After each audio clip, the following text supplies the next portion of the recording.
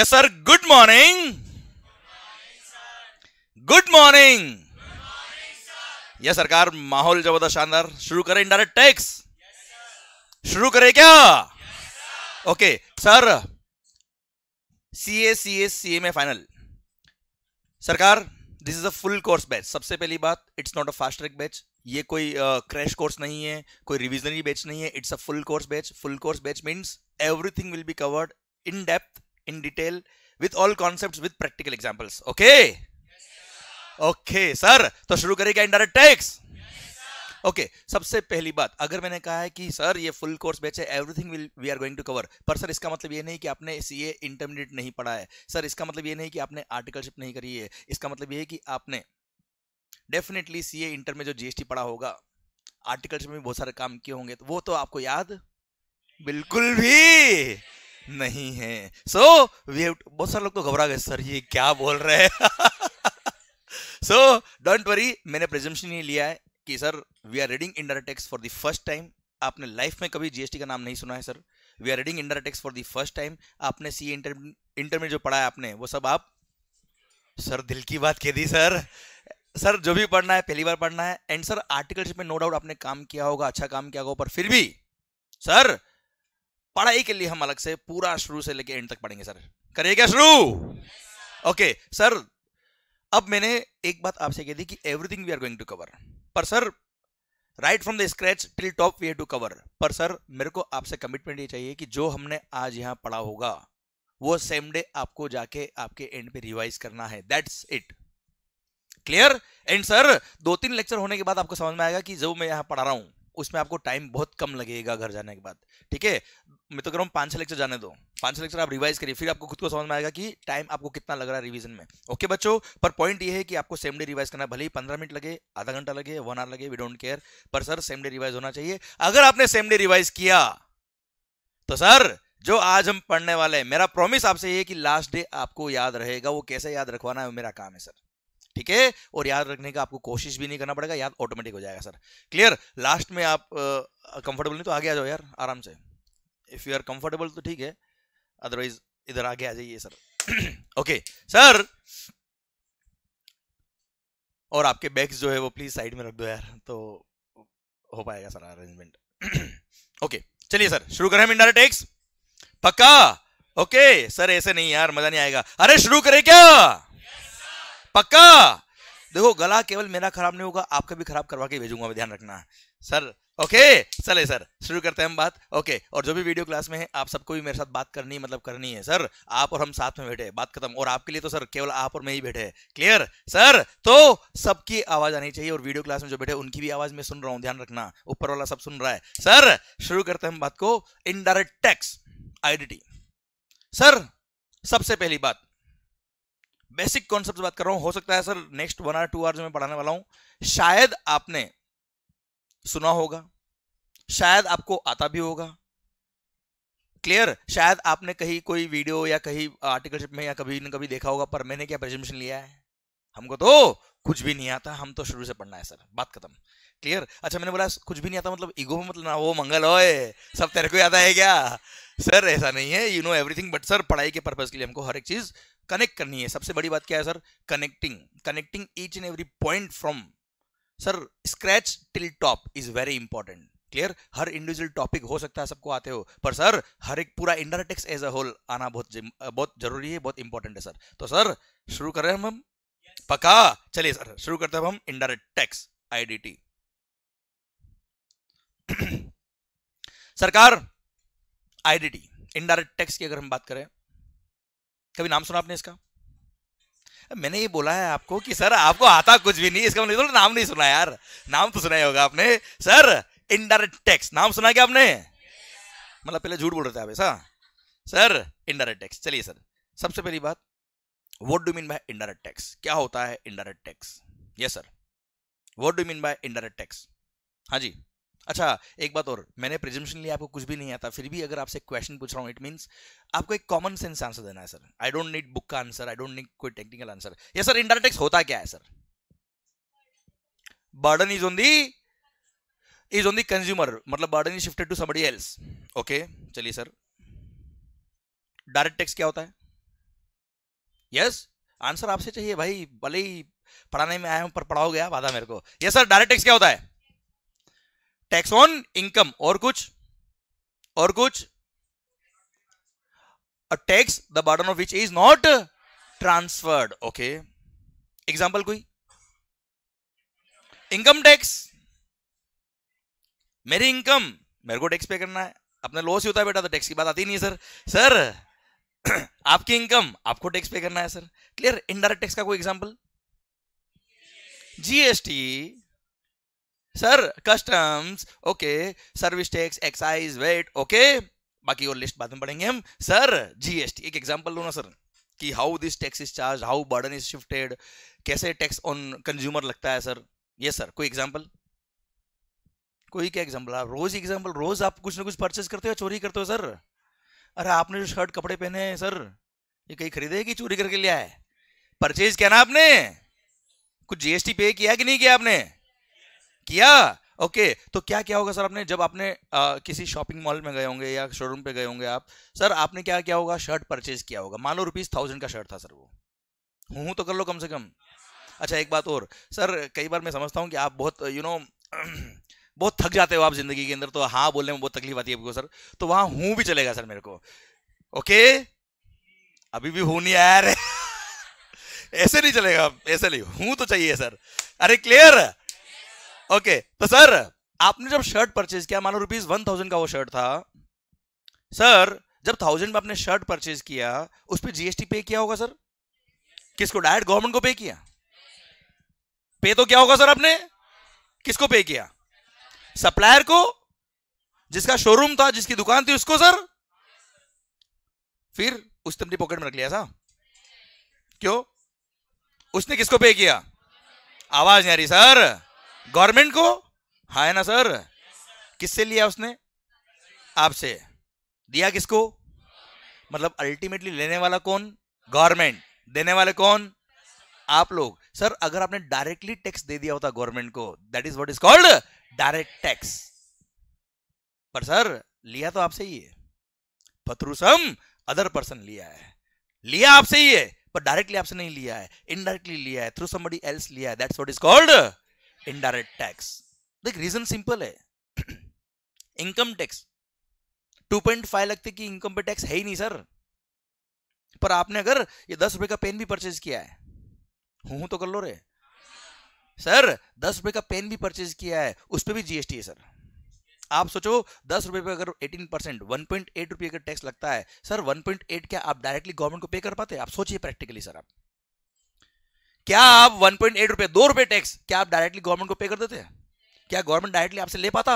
Never not possible practically sir हाँ है ना? इनकम टैक्स में आप सोचिए 2.5 लाख से अब अगर इनकम होगी तो ही इनकम टैक्स लगने वाला है। हाँ है ना? तो वहाँ डायरेक्टली आपसे टैक्स ले लेंगे that is possible but sir indirect tax GST these are taxes on goods and services यहाँ वैल्यू कम भी हो सकती है, ज़्यादा भी हो सकती है sir but it's not possible to collect the tax from each and every consumer हाँ है ना सर दैट्स वाई वहाँ सिस्टम क्या रखा? इनडायरेक्ट रखा। कोई मज़ा नहीं आ रहा सिस्टम को इनडायरेक्ट करने में। Sir mechanism to collect the tax tax administration बहुत ईजी हो जाएगा सर उस केस में। क्योंकि सप्लायर है मैन्युफैक्चरर है। वो अगर टैक्स पे करेंगे, वो तो सर लाखों करोड़ों का अमाउंट का गुड्स सेल करते हैं सर हाँ है ना, भाई? और मंथली बेस पे टैक्स पे करना उनको। यस या नो क्लियर इसलिए वहाँ पे क्या बोला? सप्लायर कस्टमर से टैक्स लेगा एंड गवर्नमेंट को टैक्स पे करेगा। Clear that's what is called indirect tax हाँ या ना? आवाज़ नहीं सर पक्का? हंड्रेड परसेंट ओके यार चलो एक काम और करते हैं। अब ये डायरेक्ट टैक्स हो या इनडायरेक्ट टैक्स हो? डायरेक्ट टैक्स हो या इनडायरेक्ट टैक्स हो?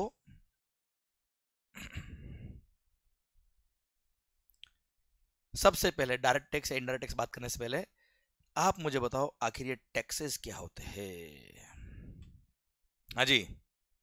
सर सबसे पहली बात ये टैक्सेस क्या होते हैं? हाँ मालिक। डायरेक्ट टैक्स हो या indirect tax what do mean by tax government's income sir taxes are the revenue of the government एक minute taxes are the revenue of the government okay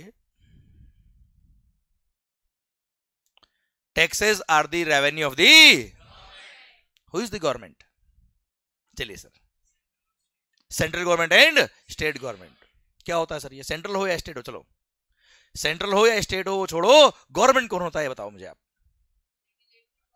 regulatory body yes yes और और।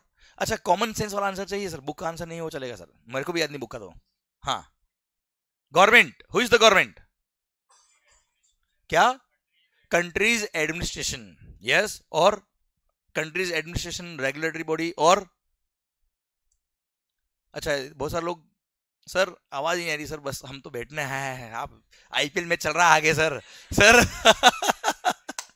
ये sir please interact करो, मज़ा आएगा आपको भी, मेरे को भी, सर ओके सर, वरना वीडियो क्लास भी बहुत ही, सर, अरे हाँ है ना इंटरेक्टिव होना चाहिए तो मज़ा आएगा आपको भी और मेरे को भी, सर ओके सरकार, बताइए गवर्नमेंट कौन? अच्छा गलत होगा आंसर चलेगा सर कोई फ़र्क नहीं पड़ता है। ठीक है? यस सर गवर्नमेंट क्या होता है? गवर्नमेंट हाँ elected representative of of people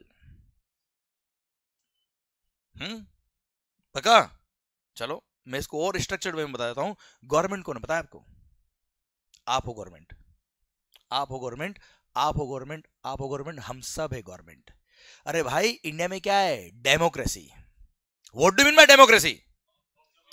Of the people by the people and for the people है ना, सर? कौन है गवर्नमेंट? पता है? हम सब है गवर्नमेंट। क्लियर सर, जनता जो बोलेगी वो होगा। कोई प्रेसिडेंशियल रूल नहीं है। कि राजा ने बोल दिया और वो काम करना है। बात खत्म, ऐसा नहीं है, सर। जो हम बोलेंगे वो होगा। देश कौन चलाएगा? ओ हो हो हो। हो हम लोग sir who is the government अभी तक वो आवाज़ नहीं आ रही, सर। अच्छा ज़बरदस्ती आवाज़ नहीं चाहिए, सर। गवर्नमेंट कौन, सर? अच्छा democracy sir for the people by the people of the people जनता का, जनता के लिए, जनता के द्वारा। मतलब सर, ये देश कोई एक राजा नहीं चला रहा है। सर, ये देश हम सब मिलके चलाएँगे। सर, हम सब मिलके, सर, इस देश के सारे लॉज बनाएँगे। हम सब मिलके इस देश के जितने भी एक्ट है, जितने भी कानून है, वो सब बनाएँगे। हम सब इसको एडमिन करेंगे, हम सब इसको गवर्न करेंगे। कैसे करेंगे, सर? सर, देश में अराउंड 130 करोड़ प्लस पब्लिक है, सर। मैंने क्या कहा? हूँ तो करना ही पड़ेगा, सर, आपको। हाँ मैं वो तकलीफ़ होती होगी आपको, सर नो डाउट पर सर, हु तो करना ही पड़ेगा। सर, आप मुझे बताओ in our country more than 130 crore public is there yes या नो आप मुझे बताओ, सर, अगर हम सब है गवर्नमेंट हम सब अगर देश को चलाएँगे 130 करोड़ प्लस पब्लिक मिलके अगर देश का एडमिनिस्ट्रेशन करेंगे तो सर यू टेल मी किस तरह से? सर, हम लॉज को बनाएँगे 130 करोड़ प्लस पब्लिक मिलके किस तरह से देश को चलाएगी, सर? कोई लॉ बनाना होगा, कोई एक्ट बनाना होगा जीएसटी के अंदर कोई अमेंडमेंट करना है सर कंपनीज़ एक नया आया था जीएसटी नया आया था, कैसे लेके आएँगे हम लोग? सर इसलिए हम लोगों ने क्या किया? सर 130 करोड़ लोग एक साथ डिसीज़न नहीं ले पाएँगे, इसलिए हम लोगों ने क्या किया? हमारे बीच में से ही वेल मैनर्ड वेल एजुकेटेड जो लोग थे रास्ते क्या होए? जो हमारे बिहार पे डिसीज़न ले पाएँगे? सर हमने हमारे बीच में से ही जो वेल मैनर्ड वेल एजुकेटेड जो हमको रिप्रेजेंट कर पाए, सर, उनको हमने इलेक्ट किया। हाँ है ना भाई?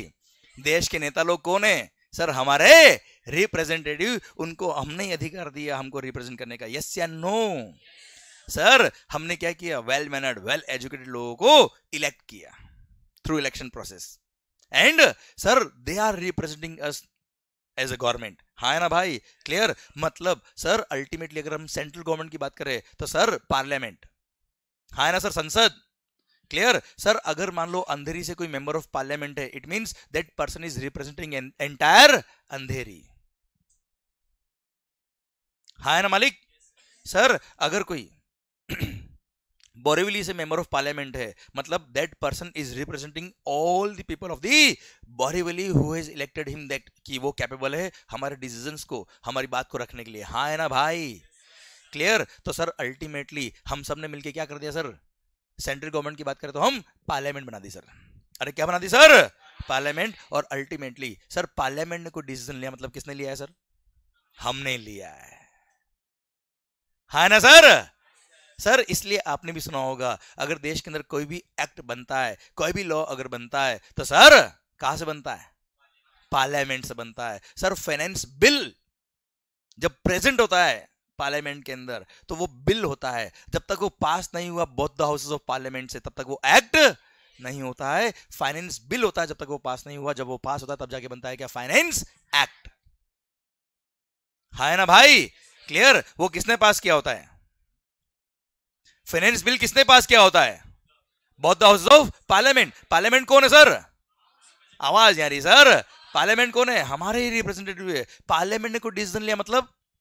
हमने डिसीज़न लिया है। हाँ है ना सर क्लियर समझे मेरी बात? आवाज़ नहीं आ रही ओए!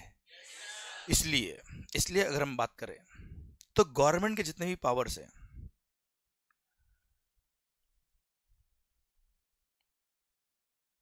गवर्नमेंट के जितने भी पावर्स है all powers are parliamentary powers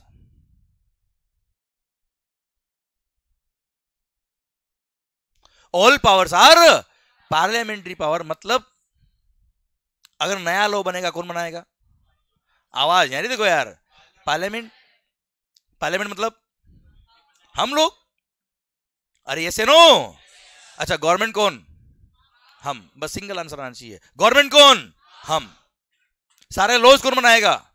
हम। थ्रू पार्लियामेंट लॉ में अमेंडमेंट करना है, कौन करेगा? हम। कैसे? थ्रू पार्लियामेंट इसलिए गवर्नमेंट के जितने भी पावर है, वो सब क्या है सब? पार्लियामेंट्री पावर है। सर बिना पार्लियामेंट के कोई भी लॉ पास नहीं होता सर बिना पार्लियामेंट के कोई अमेंडमेंट नहीं होता सर हाँ है ना? अगर पुराना पुराना लॉ कोई हटाना है, कौन हटाएगा? पार्लियामेंट. नया लॉ लाना है, कौन लाएगा? पार्लियामेंट. सर पुराने लॉ में कोई अमेंडमेंट करना है, कोई चेंज करना है, कौन करेगा? अगर लॉ के अंदर छोटा सा भी चेंज करना है, कौन करेगा? क्योंकि पार्लियामेंट कौन? अच्छा जो बात मैं कर रहा हूँ, वो लॉजिकल समझ में आ रही है या मैंने बोल दिया इसलिए मान रहे हो आप? लॉजिकल समझ में आ रही ना सर ध्यान देना बच्चों।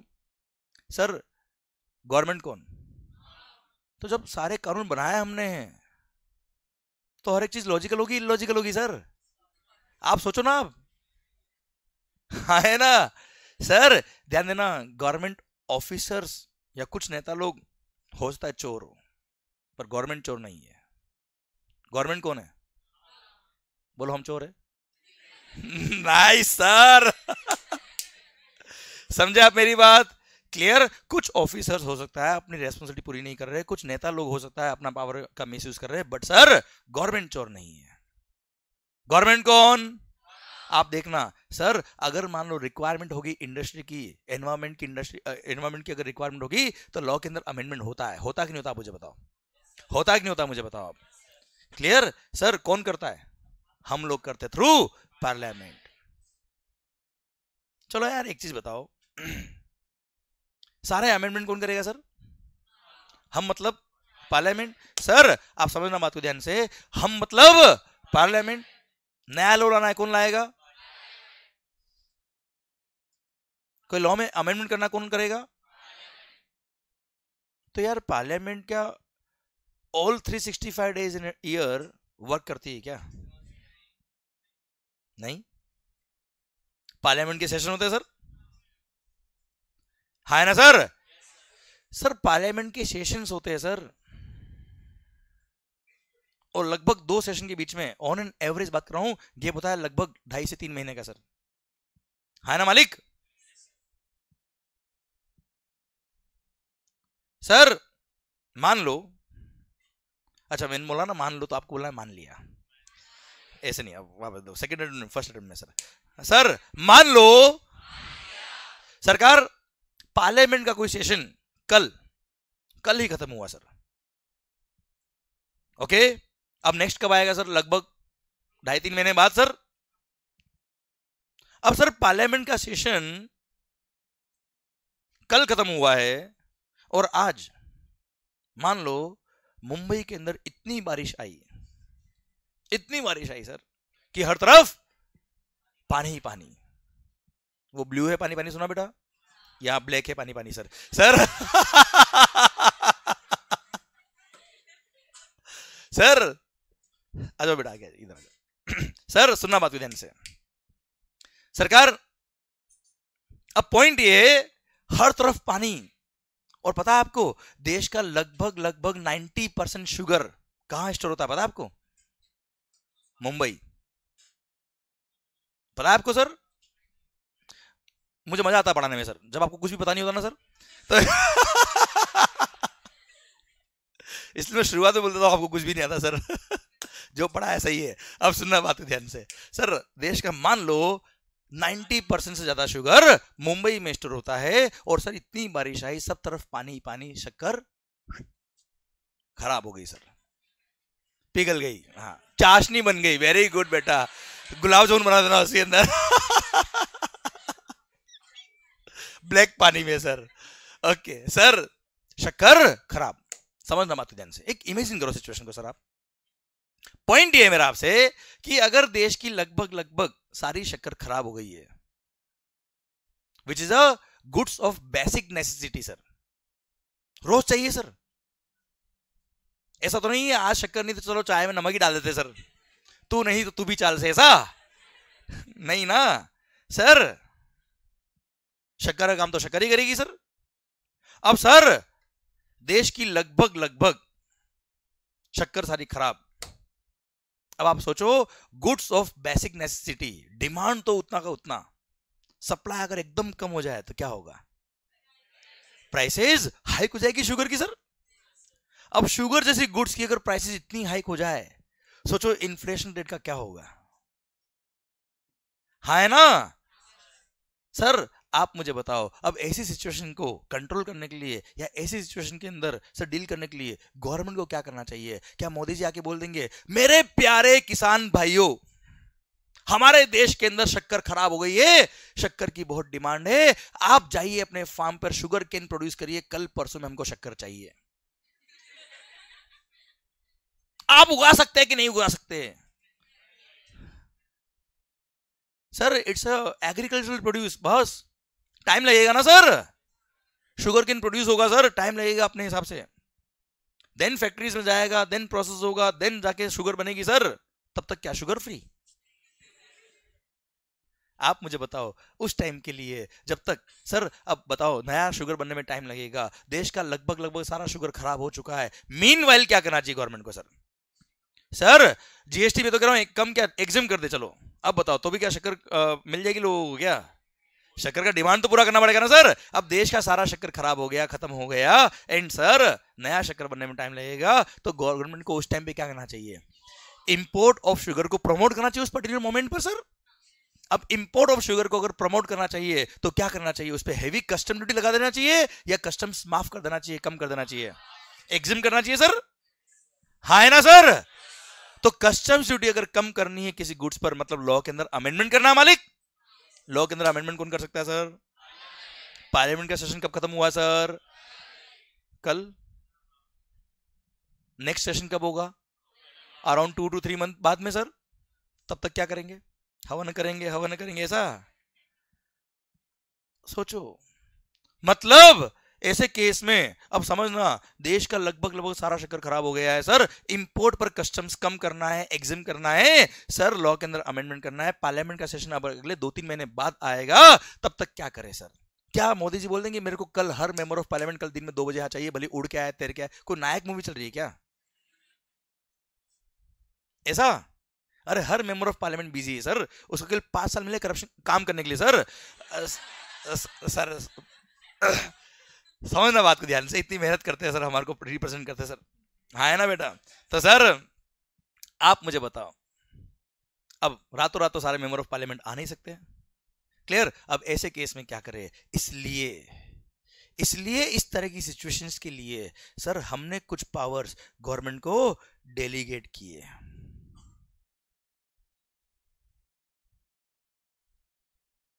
जिनको क्या बोलते हैं? डेलीगेटेड पावर्स हमने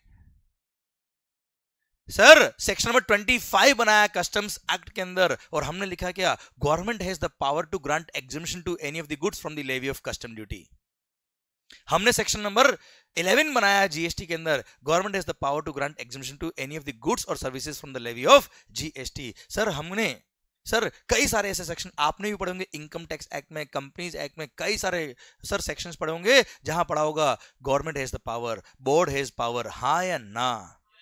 पर क्या सारे सेक्शन पढ़ा क्या? हमने कुछ पावर्स गवर्नमेंट को क्या कर दिए? डेलीगेट कर दिए। इनको बोलते हैं क्या? डेलीगेटेड पावर्स समझे आप मेरी बात? सर और वो डेलीगेटेड पावर हमने दिए गवर्नमेंट को। सिलेक्टेड सेक्शन में दिए सिलेक्टेड चीज़ें दी कि यही यहाँ पर बिना पार्लियामेंट के सेंक्शन के आप अमेंडमेंट कर सकते हो, आप चेंज कर सकते हो। डेलीगेटेड पावर के थ्रू आप लॉ के अंदर अमेंडमेंट कर सकते हो सर इसलिए आपने देखा होगा फाइनेंस बिल तो साल में एक बार आता है। पार्लियामेंट से फाइनेंस एक्ट तो साल में एक बार बनता है। फिर भी साल भर अमेंडमेंट होते रहते हैं। कहाँ से होते सर कहाँ से होते सर डेलीगेटेड पावर से होते सर हाँ है ना? सर नोटिफिकेशन इश्यू होते ना सर कहाँ से इश्यू होते सर वो हमने पावर दे रखा है। सर हमने गवर्नमेंट को पावर दिया। गवर्नमेंट हैज़ द पावर हमने गवर्नमेंट को बोला कि ठीक है सर डायरेक्ट गवर्नमेंट का जो रेस्पेक्टिव डिपार्टमेंट होगा सर वो डायरेक्ट क्या कर देंगे? सर नोटिफिकेशन इशू करके ये अमेंडमेंट कर देंगे। पर सारे अमेंडमेंट करने का पावर नहीं दिया। कुछ जगह जहाँ हमको लगता था कि यहाँ पे it is required in public interest जनहित में जारी करने के लिए।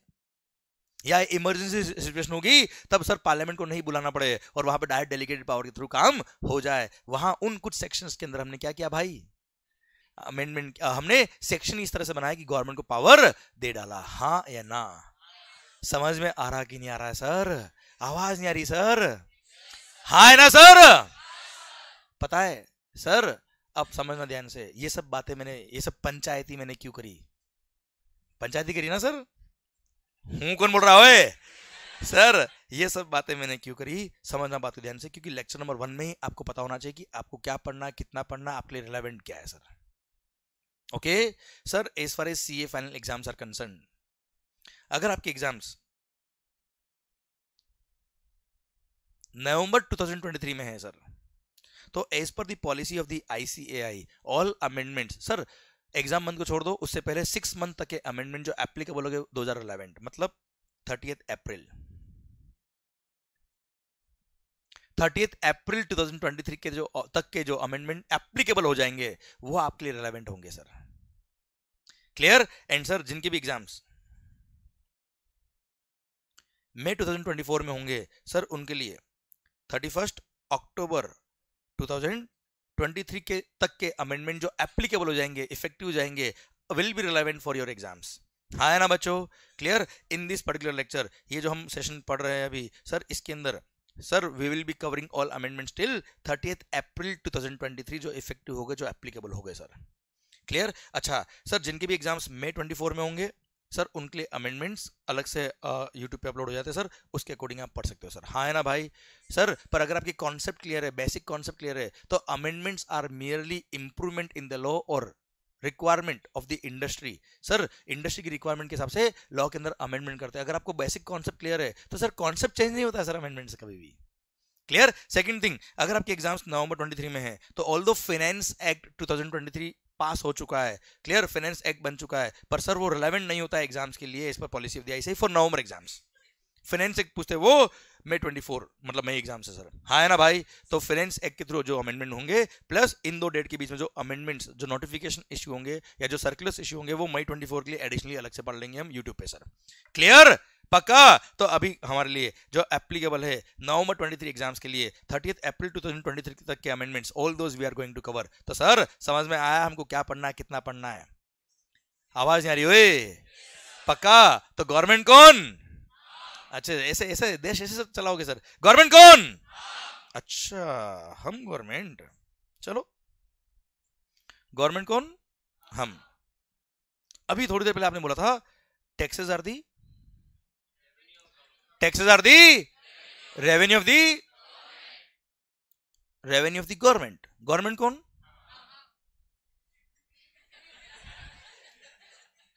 गवर्नमेंट कौन? हम. टैक्स कौन पे कर रहा? हम पे कर रहे हैं. किसको पे कर रहे हमको ही पे कर रहे भाई, क्या बात कर रहे हो?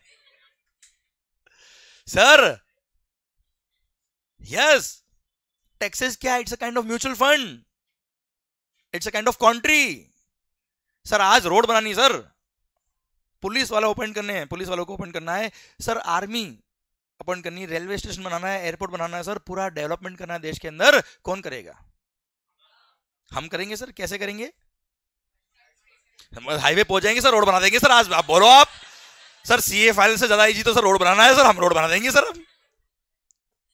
कैसे बनाएँगे सर पैसा चाहिए ना सर कहाँ से आएगा भाई?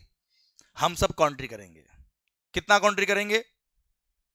वो ये डिसाइड करेगा सर हाँ ना सर कितना किसको कॉन्ट्री कर रहा है? जो अमीर लोग उनसे टैक्स लो, गरीब लोगों से टैक्स मत लो। हाँ है ना सर जिसकी इनकम कम, उस पर टैक्स कम, जिसकी इनकम ज़्यादा, उस पर टैक्स ज़्यादा। चार सौ करोड़ रुपए याद है बेटा? सर पास वालों को मिले ना सर सर सुनना, उनसे टैक्स लो सर कोई दिक्कत नहीं सर गवर्नमेंट खुद बोलती है। सर सुनना बात को ध्यान से। अब सरकार पॉइंट ये है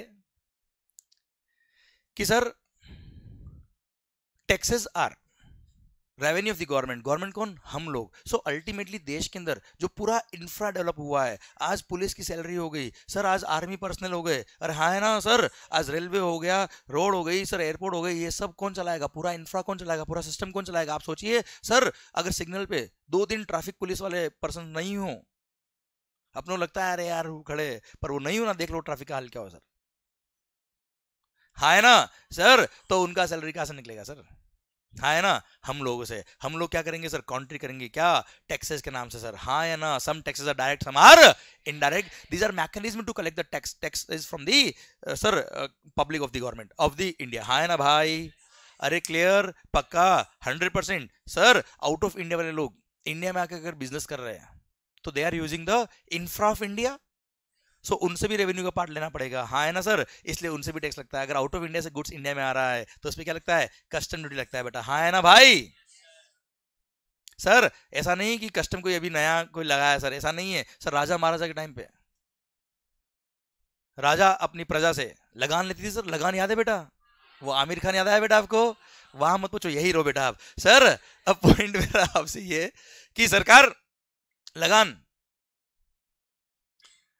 अगर, सर लैंड रेवेन्यू लगान, राजा अपनी प्रजा से लैंड रेवेन्यू लगान लेता था, sir.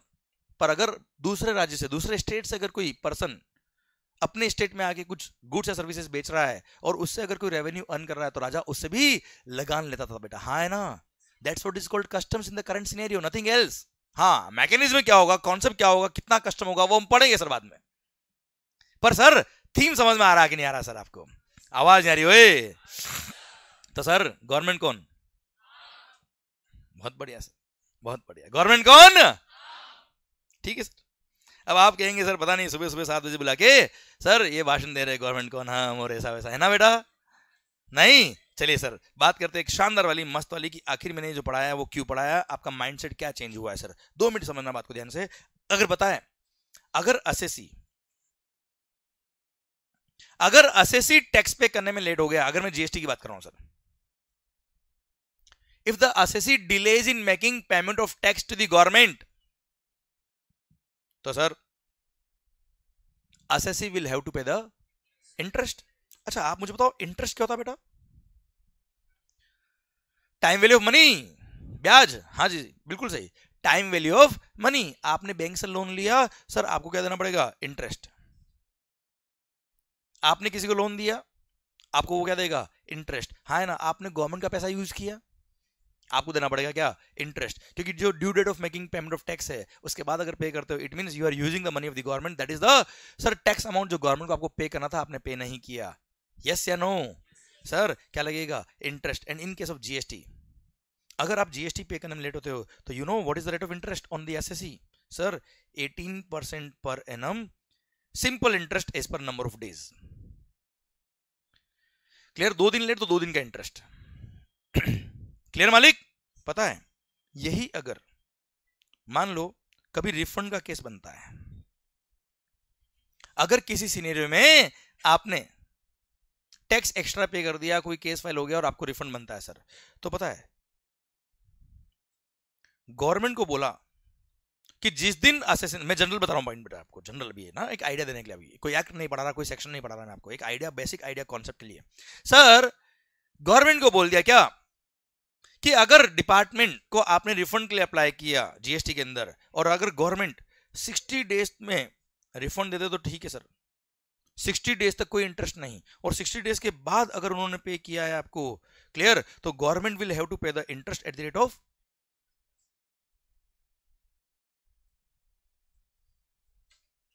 six percent per annum. और हमारी बात आई तो? अठारह, वो भी नेक्स्ट डे से ही। खुद की बात आई तो? सिक्सटी डेज़ बाद that to at the rate of six percent per annum साले चोर। अरे हाँ है ना? यस या नो तो क्या करना चाहिए? या तो सर, हमारे लिए भी सिक्स कर दो। या फिर, इनके लिए भी एटीन कर दो। अरे हाँ है ना भाई? चलो, अगर हमारे लिए सिक्स परसेंट कर दे तो सोच के देखना क्या होगा। अगर हमारे लिए six percent per annum rate of interest कर दे तो एसएससी जानबूझ के लेट टैक्स पे करेगा। मान लो टेन लाख रुपए पर मंथ की अगर उसकी टैक्स की लाइबिलिटी आती है सर जीएसटी की, उसको पच्चीस लाख रुपए या तीस लाख रुपए सर, उसको लोन चाहिए वर्किंग कैपिटल लोन तो तीन महीने तक टैक्स पे नहीं करेगा सर वो। थर्टी लाख रुपए अरेंज हो गए सर उसके पास। वर्किंग कैपिटल लोन वो भी कितना रेट से sir? Six percent per annum simple interest no security required no processing fees अच्छा किसी से पूछना भी नहीं है, कहीं अप्लाई भी नहीं करना है। छह परसेंट इंटरेस्ट में उसको लोन मिल रहा है सर और पता है खास बात, जब इच्छा हो तब पे भी कर दे। उस दिन से इंटरेस्ट बंद। और अगर मान लो कभी थर्टी की जगह तो फोर्टी चाहिए ना तो एक महीने और लेट पे कर दे। आप मुझे बताओ, अगर कोई बिजनेसमैन अपने बिज़नेस के लिए लोन लेने जाएगा, क्या उसको सिक्स परसेंट पर से मिल जाएगा सर सर आप अगर बिज़नेस लोन लेने जाओगे तो सर पंद्रह अठारह percent normal on an average ना लगता है सर। हाँ है ना भाई? क्लियर तो अगर हमारे लिए सिक्स परसेंट कर दिया तो, तो सर हमारे में से तो, सर गवर्नमेंट कौन सर आप बताओ? तो हम में से कुछ लोग होशियार जो होंगे वो तो इसका मिसयूज कर लेंगे सर। तो हम लोग नहीं नहीं नहीं हमारे लिए तो अठारह रखो। सही है कि गलत है सर आप मुझे बताओ। आवाज़ नहीं आ रही सर? सही है कि गलत है सर? एटीन सही है सर। ठीक है सर हमारे लिए एटीन सही। सिक्स नहीं। पर ठीक है सर पर इनके भी तो एटीन करना पड़ेगा। इनके एटीन कर दो सर सोचो अगर गवर्नमेंट के लिए rate of interest eighteen percent कर दे तो क्या हो? रिफंड अगर गवर्नमेंट ने लेट दिया है एटीन परसेंट पर अगर रेट ऑफ़ इंटरेस्ट कर दे तो सर लोगों के लिए इन्वेस्टमेंट का नया वेंचर खुल जाएगा, भाई. एफडी के अंदर रेट ऑफ़ इंटरेस्ट छह परसेंट मिलता है, सात परसेंट मिलता है मैक्सिमम हाँ है ना, भाई? सर लोग तो अभी पता है क्या होता है? हम जब जीएसटी डिपार्टमेंट या कोई भी डिपार्टमेंट को रिफंड के लिए अप्लाई करते तो हाथ जोड़ते सर प्लीज़ हमारा रिफंड सर जल्दी कर दीजिएगा. थोड़ा बहुत उनको फ़ीस भी देते समझ रहे मेरी बात मेरी आप? हाँ है ना, सर। सर, इधर अठारह कर देते तो? नहीं, अभी रिफंड नहीं चाहिए, थोड़ी दिन रखो अपने पास। ऑफिसर था सर, आपका रिफंड रेडी अभी नहीं चाहिए, भाई। जब चाहिए तब बोल लेंगे। आप मुझे बताओ, क्या एटीन पॉसिबल है, सर? आवाज़ नहीं आ रही, सर। आप मुझे बताओ, यहाँ क्या होना चाहिए, सर? अगर एफडी का rate of interest six to seven percent कितना होना चाहिए, सर? सिक्स सही हो रहा कि गलत हो रहा है, सर? सही हो रहा कि गलत हो रहा है सर? हमारे लिए एटीन परसेंट सही कि गलत है, सर। इनके लिए सिक्स परसेंट सही कि गलत है, सर। यही दो मिनट पहले। आप क्या बोल रहे थे, सर? साले गवर्नमेंट चोर। और दो तीन लोगों ने तो पता नहीं दो तीन अलग अलग वर्ड्स भी बोल देते सर गवर्नमेंट बोल देते हुए, सर। जो मैं यहाँ बोल भी नहीं सकता, सर हाँ है ना? सर, आप मुझे बताओ। दो मिनट पहले, हम, सर, ये सोच रहे थे बहुत गलत हो रहा है, सर। ना इंसाफी हो रही है हमारे साथ। अत्याचार हो रहा है हमारे साथ। और यही दो मिनट बाद अब आप क्या कह रहे हो, sir? This is the difference in accountant and chartered accountant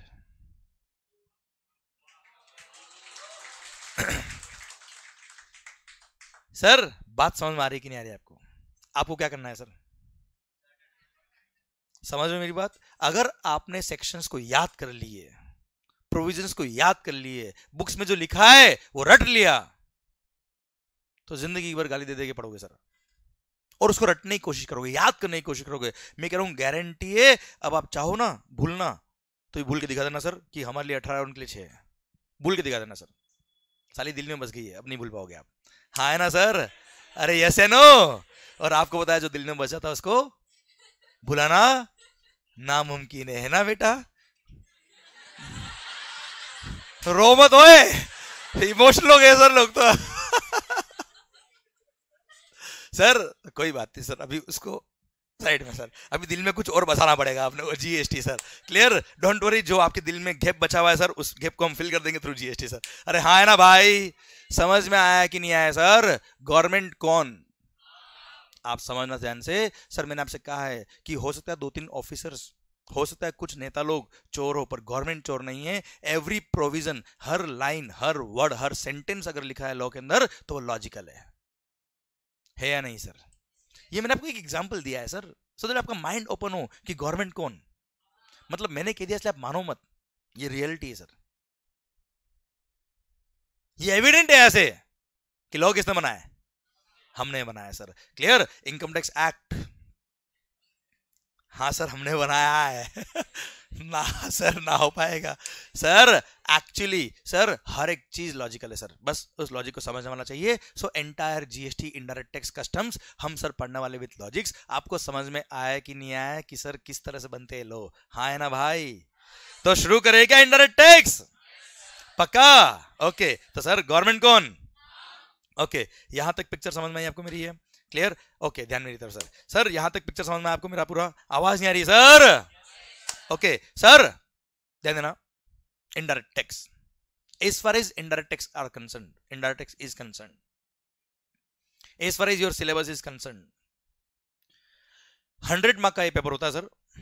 उसमें से out of 100 marks GST is 75 marks and customs plus foreign trade policy is 25 marks clear समझे आप मेरी बात? ओके सर ध्यान देना बच्चों। शुरू किससे करें कस्टम से या जीएसटी से सर आवाज़ अच्छे से नहीं आ रही सर जिस धमाकेदार तरीके से ये एक्ट आया, उस तरीके से आवाज़ नहीं आ रही सर शुरू कहाँ से करें सर जीएसटी या कस्टम्स पक्का? चले सर पूरे देश की एक डिमांड क्या? GST goods and services tax good and simple tax इसको कहा गया था शुरुआत में। अभी समझ में आएगा कि गुड या सिंपल है कि नहीं। सर, बात करते धीरे धीरे सर। ओके, सर, ऐसा कहा जाता है कि इकोनॉमिक रिफॉर्म जो ये हुआ है, सर, इंडिपेंडेंट इंडिया का सबसे बड़ा इकोनॉमिक रिफॉर्म कोई है तो वो है introduction of GST in the country. Independent India का सबसे बड़ा इकोनॉमिक रिफॉर्म कोई है तो वो क्या है? आखिर क्या तकलीफ़ क्या थी, सर? आखिर पुराने लॉज के अंदर तकलीफ़ क्या थी, सर? क्यों जीएसटी आया? क्लियर पहले वो बात करते थे हम। सर मैंने क्या बोला? आपको कुछ भी नहीं आता है। बात खत्म। शुरू से शुरू कर रहे हैं हम सर हर एक चीज़। और हाँ एक बात ध्यान रखना सर मैं यहाँ पे जो भी बात कर रहा हूँ, एक भी बात ऐसी नहीं होगी जो आपके लिए रिलेवेंट नहीं इसलिए अभी मत सोचना सर पुराने एक्ट अगर बता रहा हूँ मैं आपको कुछ तो वो काम के नहीं। वो सब के हाँ कहाँ, कैसे काम आएँगे आपको भी नहीं पता सर वो मैं कर लूँगा, मेरा काम है सर क्लियर आप मस्त होके सुनो इन्वॉल्व होके बात करो एंड सर हर एक चीज़, हर एक पॉइंट लॉजिकल होती है। ये थॉट्स के साथ हम बात करेंगे सर हाँ ना, सर? अरे, शुरू करें हम बात को। ओके, सर, ध्यान देना, सरकार, वीडियो क्लास में जो भी है, सर, आपको भी प्रॉपर इंटरेक्ट करना है, मेरे से हर एक बात का आंसर देना है मेरे को आपको, अगर आपको मैंने बोला है तो। ओके, सर, मेरा पॉइंट आपसे ये है कि क्या तकलीफ़ थी पुराने लॉज के अंदर? बिफोर जीएसटी क्या था? सर, पता है बिफोर जीएसटी ऑन गुड्स अगर आप गुड्स मैन्युफैक्चर कर रहे हो, अगर आप गुड्स मैन्युफैक्चर कर रहे हो तो लगता था excise duty central excise duty which was the revenue of the central government services provide करने में लगता था क्या?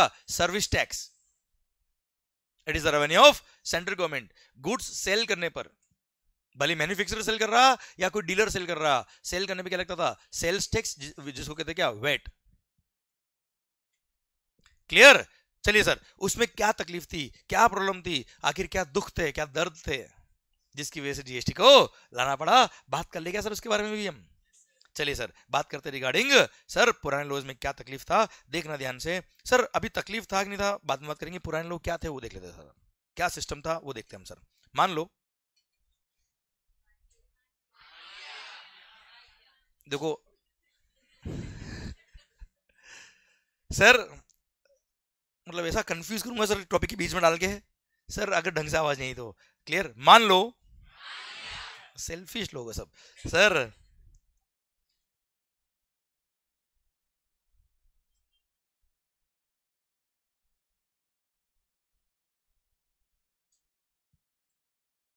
आप एक मैन्युफैक्चरर हो, सर। कौन हो, सर, आप?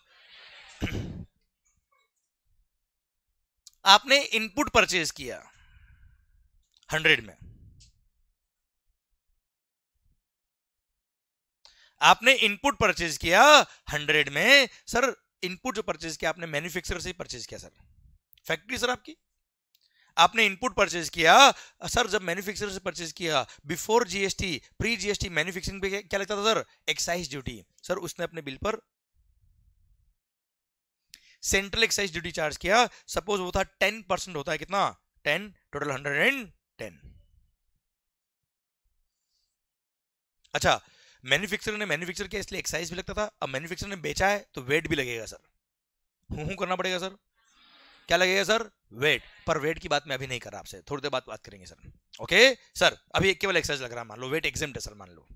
क्लियर सर मैन्युफैक्चरर है, मैन्युफैक्चर कर रहा है, इसलिए एक्साइज लगा, वो मैन्युफैक्चर करने के बाद बेच रहा है, इसलिए सेल्स टैक्स लगेगा वेट बेटा. हाँ है ना? अभी मान लो वेट एग्ज़ाम है सर वेट नहीं लग रहा, अभी केवल एक्साइज लग रहा है. हाँ है ना भाई? ओके सर आप मैन्युफैक्चरर, आपने मुझे गुड्स बेचा. क्लियर सर ये मेरे लिए इनपुट है। अब इस इनपुट को यूज़ करके मैं क्या कर रहा हूँ सर आउटपुट गुड्स बना रहा हूँ सर क्या बना रहा हूँ, मालिक? आउटपुट गुड्स अच्छा अभी पुराने लो में तकलीफ़ नहीं है सर कोई तकलीफ़ नहीं है। हम आराम से पुराने लो पहले समझ रहे हैं सर दस पंद्रह मिनट लगेंगे, आधा घंटा लगेगा, ज़्यादा नहीं लगेगा सर ध्यान देना। सर अब सिंस मैं आपसे जो इनपुट परचेज कर रहा हूँ, उस इनपुट को यूज़ करके मान लो मैं ये आउटपुट गुड्स बना रहा हूँ। दिस आउटपुट गुड्स इज़ मान लो marker I am a manufacturer of marker brand name Mangal's sir अरे है ना रे। सर कोई डाउट आपको? नहीं तो डाउट मैं क्रिएट कर दूँगा सर, ध्यान देना। सर सर ये मार्कर्स मैं बना रहा हूँ सर ये मार्कर बनाने के लिए कैमरा का थोड़ा सा ध्यान रखिए सर कोई बात नहीं, कोई बात पैर लग गया था? हम्म ये मार्कर बनाने के लिए सर, मैंने आपसे क्या परचेज किया? प्लास्टिक रॉ मटेरियल मेरा, मान लो प्लास्टिक ये प्लास्टिक मैंने परचेज किया rupees hundred plus ten P GST excise clear total hundred ten अब जब मार्कर बना के मैं आपको सेल करूँगा अगेन सर इस पे क्या लगता है? एक्साइज ड्यूटी लगता है सर क्या लगता है sir excise duty sir since मेरे सेल पे एक्साइज लग रहा है परचेज पे मैंने एक्साइज पे किया सर वापस सेल प्राइस पे पूरे पे टैक्स लगेगा. इसलिए मैंने जो दस रुपए पे किया, उसका मेरे को क्या मिल जाता था? सेनवेट क्रेडिट क्या बोलता है सर जिसको भी आप इनपुट टैक्स क्रेडिट बोलते हो ना, सर आईटीसी वही वही, सर। तो मैंने सेनवेट क्रेडिट अवेल कर लिया। सेनवेट क्रेडिट टेकन दस का क्रेडिट ले लिया। तो सर, मेरी कॉस्ट कितनी बच गई? Out of hundred and ten ten का मेरे को क्रेडिट मिल गया तो मेरी कॉस्ट कितनी बच गई, सर? हंड्रेड क्लियर अब सर, मैंने मैन्युफैक्चर किया होगा, मेरा दूसरा एक्सपेंस लगा होगा, सर, इस पर है ना? मेरा अपना मार्जिन भी तो होगा सर समाज सेवा तो कर नहीं रहे सर देश के अंदर. क्लियर उसको बोलते हैं वैल्यू एडिशन मेरे सारे एक्सपेंसेस प्लस मेरे सारे प्रॉफिट मार्जिन वगैरह सब कुछ सर कितना मान लो? फोर्टी कितना हो गया मालिक? 140 ये 140 में क्या बन गया सर मेरा? आउटपुट गुड्स और 140 is the value of my output goods this is the value sale price of my output goods including profit margin also, बेटा. ये मेरी सेल प्राइस है सर क्लियर अब क्या लगेगा मालिक इस पे? एक्साइज ड्यूटी हूँ करना पड़ेगा सर अरे क्या लगेगा sir? Excise duty sir? Suppose ten percent is again the excise rate sir, हो गया कितना? फोर्टीन टोटल होता है कितना? One fifty four indirect tax sir. Customer को मैंने बिल बनाया 154 का, उससे 154 मैंने ले लिया। इसमें से 14 क्या है? अरे 14 क्या है, मालिक? एक्साइज इनडायरेक्ट टैक्स है। किसको पे करना है? सेंट्रल गवर्नमेंट को, सर? हाँ है ना? अब जब मैं सेंट्रल गवर्नमेंट को पे करूँगा 14 तब सर मैं दस रुपए ऑलरेडी टैक्स पे कर चुका हूँ गवर्नमेंट को। जिसका मैंने सैनवर्ड क्रेडिट अवेल किया था, याद है? सैनवर्ड क्रेडिट अवेल किया था, लिया हुआ है अभी मेरे पास। अब मैं उसको यूज़ कर लूँगा सर। मैंने दस का सैनवर्ड क्रेडिट क्या कर लिया? यूज़ कर लिया। बैलेंस फोर क्या कर दिया सर? पे कर दिया भाई। हाँ है ना सर? क्लियर सर, मैंने दस का क्रेडिट यूज़ किया बैलेंस फोर पे किया। क्लियर अल्टीमेटली गवर्नमेंट को कितना मिल गया सर? फोर्टीन कैसे मिला, सर? टेन तो यहाँ मिला होगा, सर, उसको, यहाँ पर। हाँ है ना? एंड सर फोर अभी मिल गया, सर, इनको। क्लियर अल्टीमेटली 14 गवर्नमेंट को मिल गया 14 कस्टमर की पॉकेट से गया क्लियर और गवर्नमेंट को पूरा 14 रुपी टैक्स मिल गया। हाँ या ना? अरे क्लियर पक्का? डन चलो सर मेरा क्वेश्चन सिंपल साहब से ये है।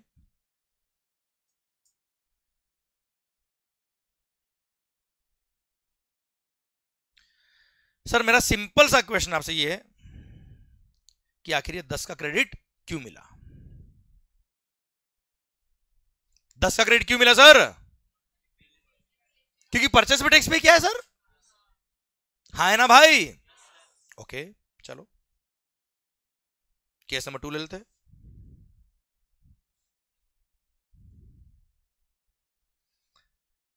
again I am a manufacturer I am manufacturer of this pen अरे मैं क्या बना रहा हूँ साहब? पेन सर और pen is exempt from GST मान लो सर पेन बनाने पे एक्साइज नहीं लगेगा। ओके इसलिए अगेन मैंने इनपुट परचेज किया। कितने का? हंड्रेड का। उस पर एक्साइज ड्यूटी पे किया। सेंट्रल एक्साइज ड्यूटी कितना बेटा? टेन टोटल कितना हो गया मालिक? हंड्रेड एंड टेन ये मेरा परचेज इनवॉइस है सर ये क्या है, सर? परचेज इनवॉइस कितने का? 110 का। सर, ये मैंने प्लास्टिक परचेज किया इनपुट परचेज किया, इससे मैं क्या बनाने वाला हूँ? ऐसा गुड्स बनाने वाला हूँ which is exempt from excise duty अब सर सिंस मेरा आउटपुट गुड्स एग्ज़ाम है, क्या मेरे सेल पर टैक्स लगेगा वापस से? नहीं। तो परचेज में जो टैक्स पे किया, उसका सर्टिफिकेट देने से गवर्नमेंट ने क्या कर दिया? मना कर दिया। कि कोई सर्टिफिकेट नहीं मिलेगा। मेरी कॉस्ट कितनी? हंड्रेड टेन आ जाएगी, सर। मैंने वैल्यू एडिशन किया कितना, मालिक? फोर्टी टोटल वन फिफ्टी ये क्या बन गया? आउटपुट गुड्स इस पे central excise duty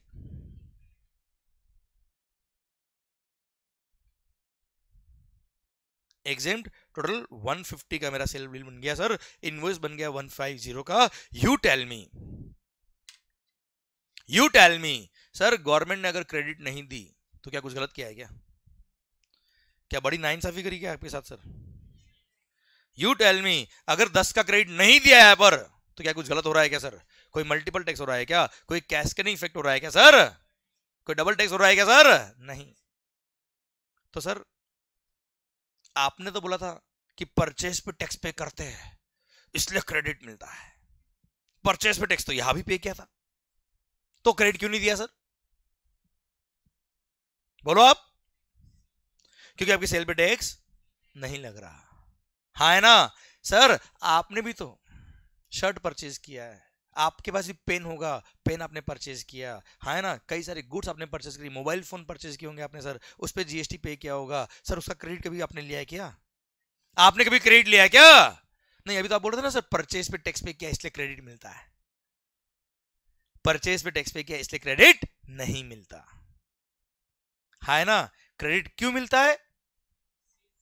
क्योंकि मेरे सेल पे टैक्स लग रहा है। हाँ है ना? या मैं अपनी लैंग्वेज में अगर मेरा डायलॉग बोल दू तो मेरे पूरे 140 पर टैक्स लग रहा है। विच इंक्लूड्स हंड्रेड जिसपे मैं ऑलरेडी टैक्स पे कर चुका हूँ। जिसपे मैं ऑलरेडी टैक्स पे कर चुका हूँ और वापस से पूरे 140 इंक्लूडिंग हंड्रेड पे टैक्स लग रहा है मल्टीपल टैक्स हो जाएगा कैस्केडिंग इफ़ेक्ट हो जाएगा so to avoid the multiple taxation and cascading effect दस का क्रेडिट मिला। हाँ है ना? अब सर, थोड़ा मैं दो मिनट, पाँच मिनट में और लगेंगे। सर, आपने कई बार नाम सुना होगा मल्टीपल टैक्सेशन कई बार नाम सुना होगा कैस्केडिंग इफ़ेक्ट इसका एग्जैक्ट मीनिंग क्या है? अगले दो मिनट बता देता हूँ मैं आपको। देखना ध्यान से। सर लाइफ में कभी दिक्कत नहीं आएगी आपको गारंटी सर। सर मैं कह रहा हूँ अगर दस का क्रेडिट नहीं मिलता तो क्या होता सर? दस का क्रेडिट नहीं मिलता तो क्या होता? वो देख लेते सर देखो सर कभी भी लाइफ में आप कोई भी टॉपिक पढ़ो या कोई भी चीज़ समझ नहीं हो आपको और ये समझना हो कि ये क्यों होता है तो ये सोचना कि अगर ये नहीं होता तो क्या होता? समझे? तो वो क्यों हो रहा है कैसे हो रहा है आधी से ज़्यादा चीज़ें तो वही कर, आपको समझ में आ जाएगी सर। देखते ध्यान से मान लो मान लो। Again I am a manufacturer of this marker which is taxable हाँ है ना भाई? क्लियर मैंने क्या किया? इनपुट परचेज किया कितने में? Hundred ten rupee excise duty total कितना हो गया? Hundred and ten okay sir मान लो क्रेडिट का कोई सिस्टम होता ही नहीं नहीं मिलता सर क्रेडिट तो ऐसे केस में। अब अगर क्रेडिट नहीं मिल रहा है भाई अगर क्रेडिट नहीं मिल रहा तो मेरी कॉस्ट कितनी हो जाती सर 110 मैंने अपना मार्जिन मेरे अपने एक्सपेंसेस सारे ऐड किए कितने? 40 टोटल कितना हो गया भाई? 150 ये मेरा आउटपुट गुड्स बन गया। अगेन इस पे क्या लगेगा? Central excise duty suppose rate of tax is 10 percent होता कितना है? 15 कितना हो गया मालिक? 165 इनडायरेक्ट टैक्स है सर कस्टमर से मैंने 165 का इनवॉइस लिखा, उससे मैंने 15 रुपी टैक्स लिया और गवर्नमेंट को पे कर दिया भारत माता की। जय, कोई क्रेडिट था नहीं, कोई क्रेडिट यूज़ किया नहीं। सर, आप मुझे बताओ अल्टीमेटली कस्टमर को गुड्स कितने मिला, सर? अल्टीमेटली गुड्स का कॉस्ट उसको कितना आया, सर? 165 है ना? सर, आप देखना ध्यान से। आप अगर ध्यान से देखोगे, अगर समझोगे चीज़ को तो आपको समझ में आएगा कि सर इस 165 में अल्टीमेटली देखा जाए तो केवल 140 ही वैल्यू ऑफ़ गुड्स है सर। और टोटल 25 रुपी टैक्स लगा हुआ साहब। भाई, अल्टीमेटली अगर कस्टमर ने मेरे से ये मार्कर परचेज किया है तो उसको 25 रुपी टैक्स पे करना पड़ गया गवर्नमेंट को। कैसे? टेन रुपी तो यहाँ पे किया था सर। और वो भी तो अल्टीमेटली सेल प्राइस का पार्ट बनाया ना यार। अल्टीमेटली गया तो कस्टमर की पॉकेट से सर और फिफ्टीन उसने यहाँ पे कर दिया, भाई।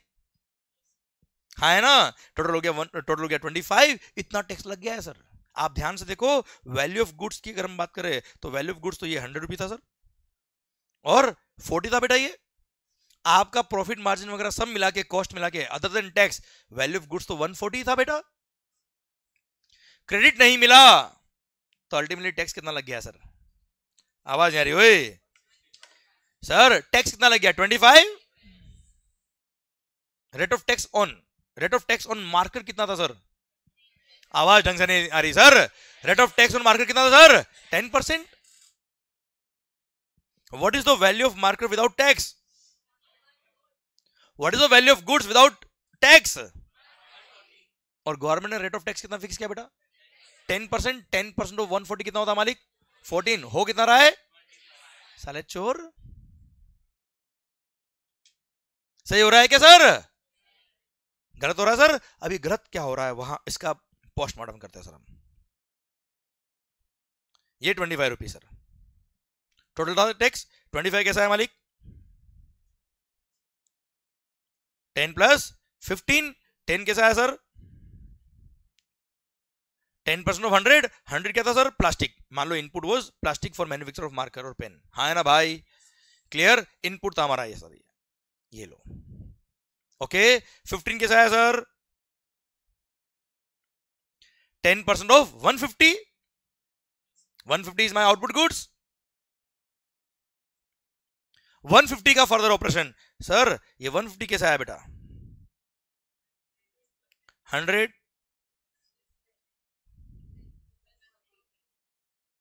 Plus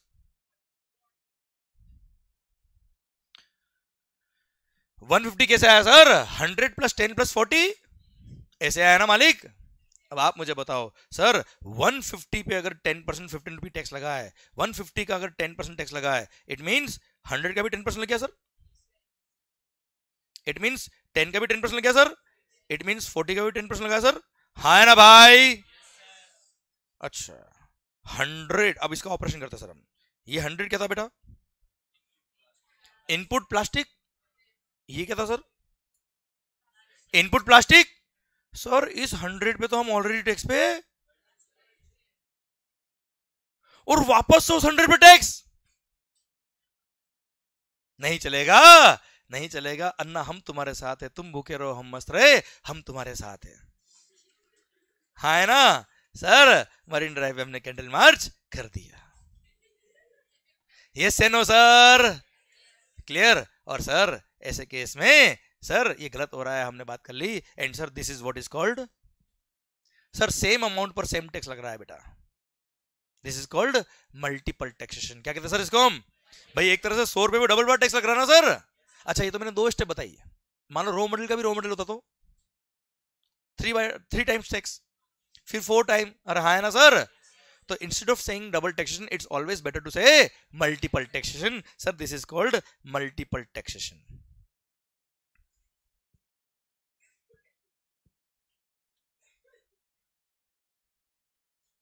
same tax on same amount multiple times क्या मालिक? यह लिख देता हूँ मैं sir.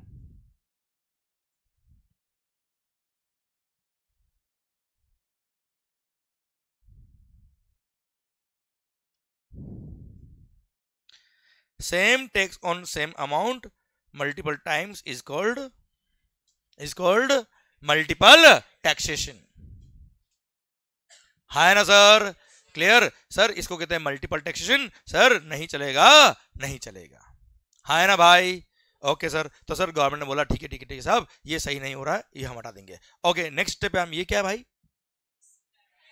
ओ भाई एक्साइज ड्यूटी पे एक्साइज ड्यूटी हद कर दिया आपने यार।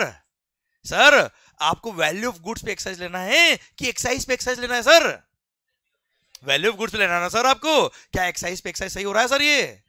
नहीं चलेगा नहीं चलेगा। This is called cascading effect क्या कहते हैं सर इसको हम?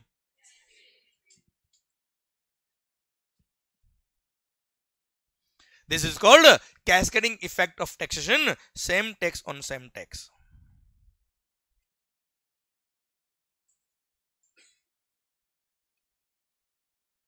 same tax on same tax is called cascading effect of taxation नहीं चलेगा नहीं चलेगा। है ना. सर नेक्स्ट क्या है, सर? नेक्स्ट क्या है, सर? वैल्यू एडिशन ये वैल्यू का पार्ट है क्या, सर? आवाज़, यानी सर? इस पे पहले कभी टैक्स लगाया गया सर? पहली बार टैक्स लग रहा है, सर? चलेगा? हाँ हाँ ये चलेगा, सर. क्लियर मतलब देखा जाए तो सर, यहाँ पे हंड्रेड पर टैक्स लगाया, सर. हूँ, करो, सर. हंड्रेड पर टैक्स लगाया, सर. और फिर नेक्स्ट स्टेप पे देखे. तो सर किस पे टैक्स लगना है? केवल फोर्टी पर। किस पे टैक्स लगना है सर? वैल्यू एडिशन पे सर। फोर्टी क्या है? तो नेक्स्ट स्टेप पे टैक्स लगाओ।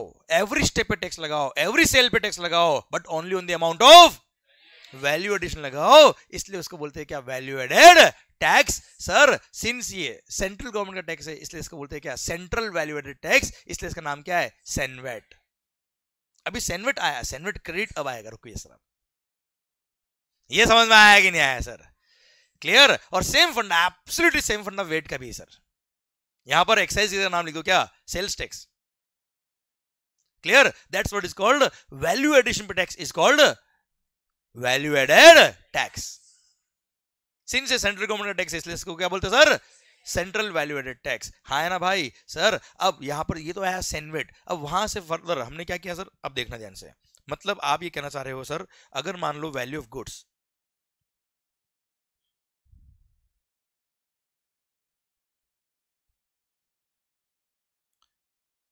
value of goods अगर फोर्टीन थाउज़ेंड है,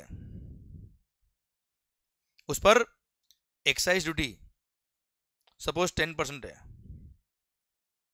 या ऐसे करते थे, रुको रुको। हाँ वैल्यू ऑफ़ गुड्स अगर फिफ्टीन थाउज़ेंड है, उस पर सेंट्रल एक्साइज ड्यूटी कितना है? टेन परसेंट कितना होता मालिक? अरे कितना होता भाई?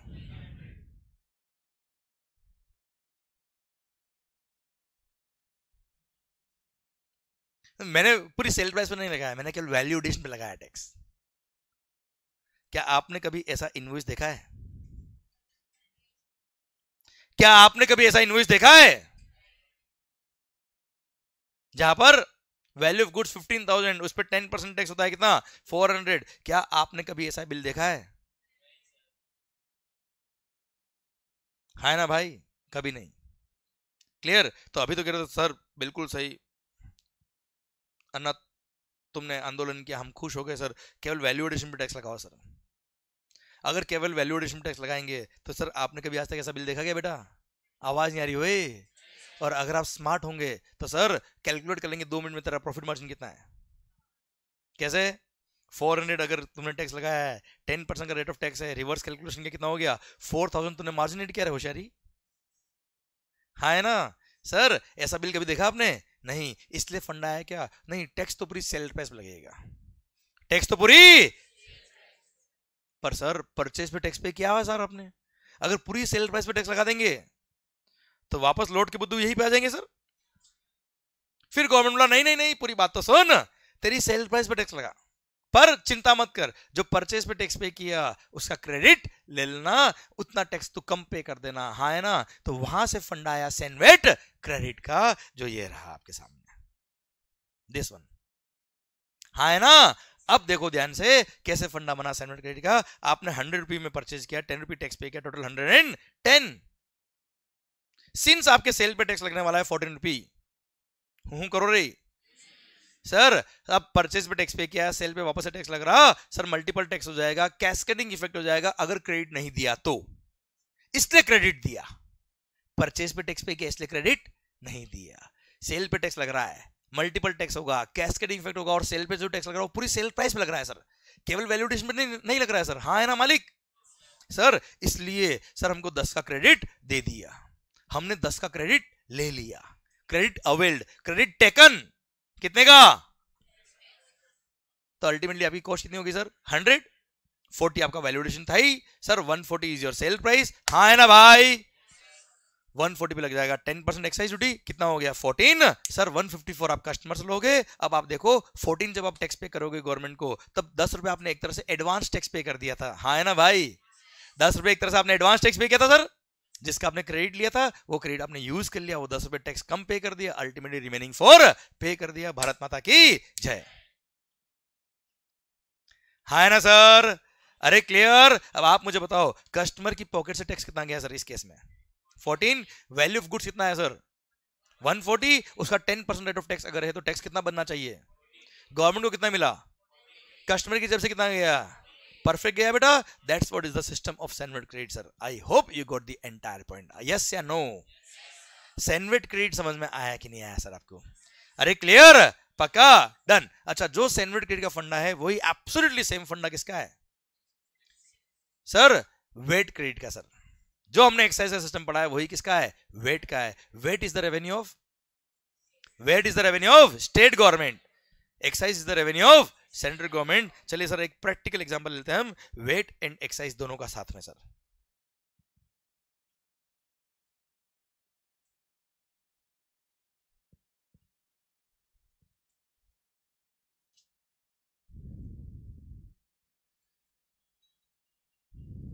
दिल थाम के देखिएगा सर, ध्यान से। मस्त पॉइंट है, सर। अच्छा जो भी मैं यहाँ लिख रहा हूँ जब लेक्चर एंड करेंगे, सर, हम एक टाइम लेंगे, एक मिनट का, दो मिनट का।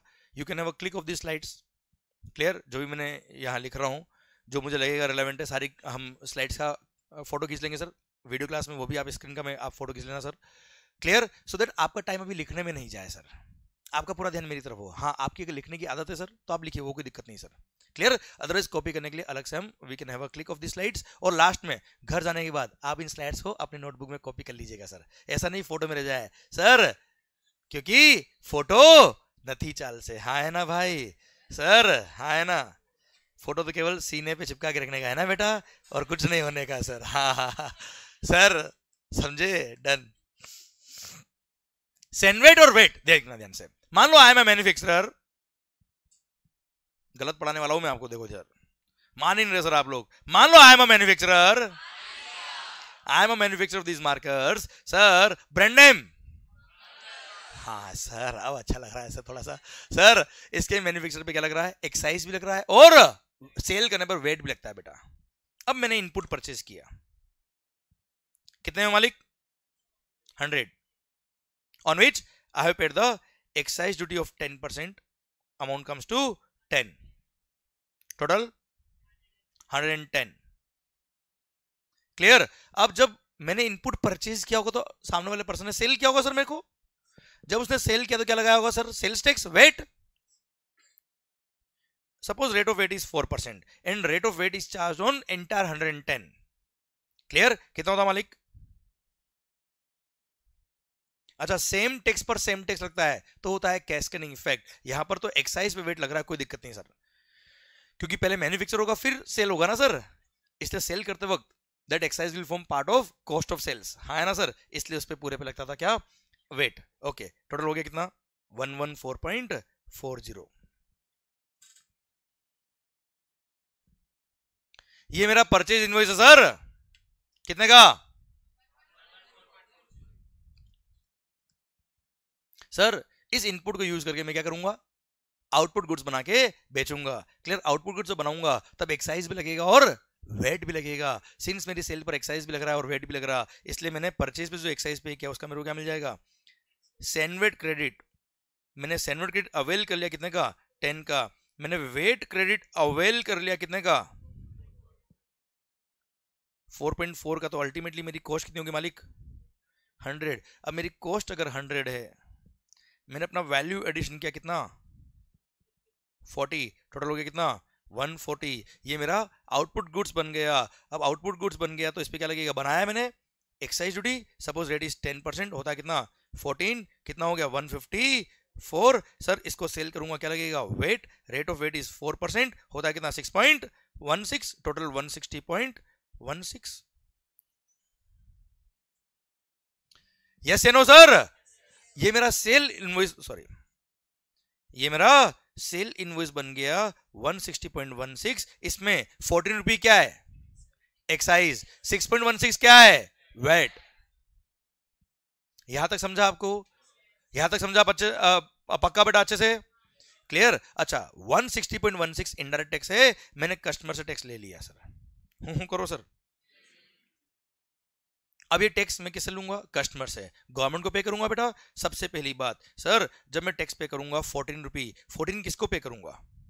स्टेट गवर्नमेंट को या सेंट्रल गवर्नमेंट को sir excise duty is the revenue of central government Modi ji sir हाँ ना भाई? सेंट्रल गवर्नमेंट को पे करूँगा. सर फोर्टीन जब पे करने गया, तब मेरे पास दस का क्रेडिट अवेलेबल था। याद आया सेनवेट क्रेडिट सेंट्रल गवर्नमेंट के टैक्स का मिला था मेरे को, सर याद आया बच्चों? वो दस का क्रेडिट मैंने क्या करा? ए, होशियारी अवेल तो मैं ऑलरेडी कर चुका था ना, सर। अब क्या कर रहा हूँ? अवेल कब करते? अवेल करना मतलब इट इज़ अवेलेबल सर, मैंने आपसे फ़ीस ले ली अवेल कर ली। अब जब पार्टी करेंगे तब यूज़ कर लेंगे, सर। हाँ है ना भाई? ये सर सर तो अभी मैंने क्या किया? क्रेडिट अवेल तो परचेज भी कर लिया था, सर। अभी मैंने क्या किया है? यूज़ किया है। कुछ समझ में आ रहा है कि जा रहा? आके जा रहा है? रुक रहा है? हाँ सर। बैलेंस फोर क्या कर दिया मैंने? पे कर दिया गवर्नमेंट को, sir. Six point one six क्या है बेटा? आवाज़ नहीं मालिक। वेट की रेवेन्यू है। ये वेट किसको पे करना है? स्टेट गवर्नमेंट को पे करना है। क्या मेरे मेरे पास स्टेट गवर्नमेंट का कोई वेट क्रेडिट पड़ा है क्या sir? Yes it is available कितना अवेलेबल है सर? मैंने 4.4 का वेट क्रेडिट यूज़ किया। बैलेंस 1.76 पे किया। भारत माता की जय। यस या नो चलिए क्वेश्चन मेरा आपसे ये है। एक सिंपल सा क्वेश्चन पूछ लू, आपसे ये टफ पूछू, बताओ। टफ ठीक है, सर। बहुत बढ़िया, sir. Sir that's what is called challenge the life है ना बेटा? बहुत बड़ी बात होगी, सर। अभी ध्यान दो बेटा। सर, मेरा पॉइंट आपसे ये है, मेरा पॉइंट आपसे ये है कि मान लो, मेरे पास वेट क्रेडिट एक्स्ट्रा है, मान लो वेट ग्रेड एक्स्ट्रा था मेरे पास, क्या वो एक्साइज के लिए काम आ सकता था क्या, sir? Can I use the VAT credit for paying the liability of excise can I use the CENVAT credit for VAT अगर मान लो सैनवेट क्रेडिट एक्स्ट्रा होता और वेट की लाइबिलिटी एक्स्ट्रा होती, क्या सैनवेट क्रेडिट को मैं वेट के लिए यूज़ कर सकता हूँ क्या, sir? Why not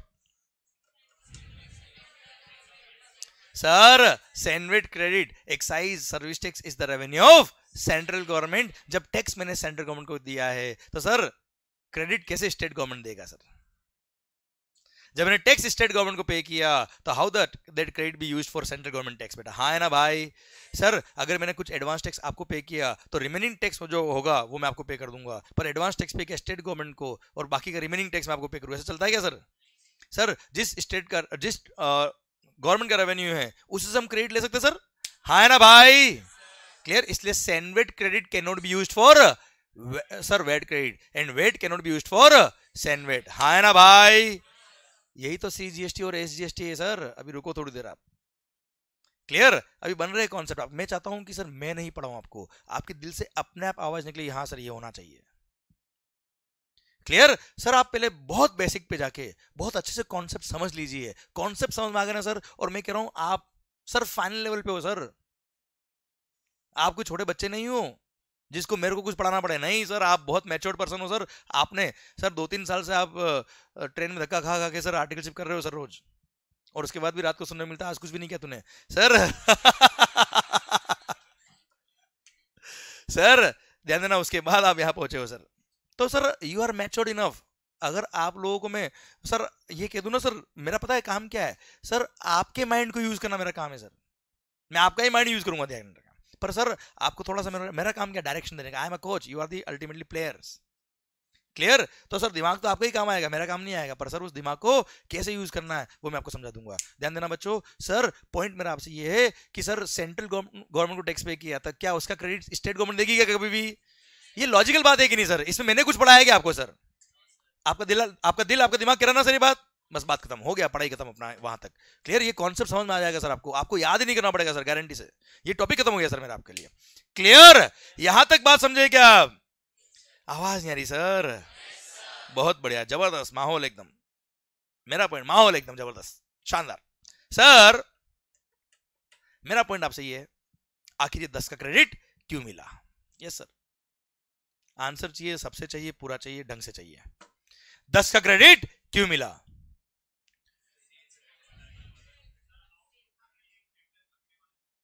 इसके लिए, ना? पागल सी बात नहीं करने का रहे। टैक्स पूरा बोलने का। क्या? सर, ये वो मंत्र है, जिसकी वजह से मैं पूरा जीएसटी खत्म करने वाला हूँ। दस का क्रेडिट क्यों मिला? क्योंकि मैं लास्ट में बोल रहा हूँ आपसे, फिर आपको बोलना है, क्योंकि टैक्स जो लग रहा है पूरे 140 पे लग रहा है। विच इंक्लूड्स 100 रटना नहीं है मगअप नहीं करना है। सर, दिल तक बात पहुंचनी चाहिए। सर टैक्स जो लग रहा है पूरे 140 पे लग रहा है which includes 100 on which we have already paid the tax और वापस से पूरे 140 इंक्लूडिंग 100 पे टैक्स लग रहा है। So to avoid the multiple taxation and cascading effect दस का क्रेडिट मिला। हाँ है ना? वन टू थ्री गो दस का क्रेडिट क्यों मिला? क्योंकि टैक्स लग रहा है पूरे। Which includes hundred on which we have already paid the tax और वापस से पूरे 140 इंक्लूडिंग हंड्रेड पे टैक्स लग रहा है। So to avoid the and cascading effect दस का क्रेडिट मिला पक्का? एक बार आँखें बंद। आँखें बंद। और सर, अब आपको, अब वो सोना नहीं हुए। सर, बहुत सारे लोग तो आ रहे हैं। सर, क्या दिल की बात दी सर? गारंटी है, सोने नहीं दूँगा मैं आपको। सर, आँखें बंद। और हाँ अगर बीच में एक भी आँख खुली हुई दिख गई तो वो यहाँ पे आके बोलेंगे सबके सामने, सर, क्या आखिर ये दस का क्रेडिट क्यों मिला? आँखें बंद, सर विजुलाइज करना है आपको कि आखिर ये दस का क्रेडिट क्यों मिल रहा है? क्योंकि टैक्स लग रहा है पूरे one foot just feel it feel करो इसको, रटना नहीं है। जस्ट फील इट सर आखिर ये दस का क्रेडिट क्यों मिला? क्योंकि टैक्स लग रहा है पूरे वन फोर्टी पे लग रहा है विच इंक्लूड हंड्रेड यार। और वापस से पूरे वन फोर्टी इंक्लूडिंग हंड्रेड पे टैक्स लग रहा है, यार। मल्टीपल टैक्स हो जाएगा। कैस्केडिंग इफ़ेक्ट हो जाएगा। So to avoid the multiple taxation and cascading effect, दस का क्रेडिट मिला ओम शांति शांति धीरे धीरे आँख खोलना बेटा एकदम धीरे धीरे आँख खोलो अबे ओ सो क्यों कर रहे यहाँ तक समझ में आपको मेरा पॉइंट क्लियर पक्का हंड्रेड परसेंट चलिए मेरा अगला क्वेश्चन आपसे ये है ये 4.4 का वेट क्रेडिट क्यों मिला सर 4.4 का वेट क्रेडिट क्यों मिला यस सर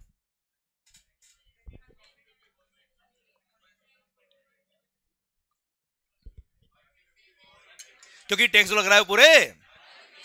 154 पे लग रहा है which includes 110 on which we already paid the VAT और वापस से पूरे 154 इंक्लूडिंग 110 पे वेट लग रहा है। So to avoid the and cascading effect दस का क्रेडिट मिला। हाँ या ना? पता है? सर, अगर आप ये विजुलाइज नहीं करते हैं तो शायद चीज़ें याद करते हैं। सर, आपने विजुलाइज किया दिल तक बात पहुँच गई, सर। अब सर फिगर्स चेंज होते रहेंगे, सर। क्रेडिट मिलता रहेगा, सर। हाँ है ना भाई? क्लियर वेट हो या सेनवेट फंडा एब्सोल्युटली सेम फंडामेंटल समझ में आया नहीं आया, सर? आवाज़ नहीं आ रही, सर? चलिए, सर तो दस का क्रेडिट क्यों मिल रहा है समझ में आया? 4.4 का वेट क्रेडिट क्यों मिल रहा है समझ में आया आपको? क्लियर तो ऐसा नहीं कि केवल सैंडविच क्रेडिट मिलता था वेट का क्रेडिट भी मिलता था। ओके सर, जब इतने क्रेडिट मिलते थे तो आखिर क्या तकलीफ़ थी पुराने लोगों के इसके अंदर? आखिर क्या लकुना था पुराने लोगों के अंदर? जो आप ये कह रहे हो कि इंडिपेंडेंट इंडिया का सबसे बड़ा इकोनॉमिक रिफॉर्म कोई हुआ है तो उसका नाम क्या है? जीएसटी आखिर क्या तकलीफ़ थी सर? चलिए सर बात करते हो और आगे बढ़ेंगे धीरे धीरे अच्छा यहाँ तक समझ में आ रहा है आपको? अच्छा हम क्या पढ़ रहे हैं मैं क्या पढ़ रहा हूँ? कोई मतलब नहीं सर आप मस्त होके सुनो। सर आप इतना विश्वास करके यहाँ तक पहुँच गए बाकी मैं ले आऊँगा सर आपको। क्लियर आप मस्त होके सुनो, मैं क्या पढ़ रहा हूँ, कैसे पढ़ रहा हूँ कौन सा टॉपिक मुझे कब बोलना है कौन सी लाइन मुझे कब बोलनी है, ये सब मेरे इधर फिट है। You don't worry for that clear कौन सा पॉइंट कैसे, कब, कहाँ कनेक्ट करना है, वो मेरा काम है सर क्लियर आप ध्यान सुनो, मस्त होके सुनो एंड इन्वॉल्व होके बात करो सर आप भले वीडियो क्लास में बैठे हो, आप लोग यहाँ हो सर आप बस ये ध्यान रखो, आप और मैं बस दो जने बैठे, बात खत्म सर आप मेरे से बात करो. दैट्स इट सर आप देखना कैसे एक्ट बनता है, आपको समझ में आएगा. सर बात ये मेरा पॉइंट ये है कि सर बिफोर जीएसटी अभी तो जीएसटी आया ही नहीं सर, अभी तो चल रहा है क्या? एक्साइज सर्विस अभी तो हम छोटे बच्चे सर, दो हज़ार सत्रह से पहले आपकी जो एज थी वो चल रही सर अभी तो आपकी। सर, अभी थोड़ी देर बाद हम बड़े होंगे सर। अच्छा आपको ब्रेक चाहिए क्या बेटा बीच में?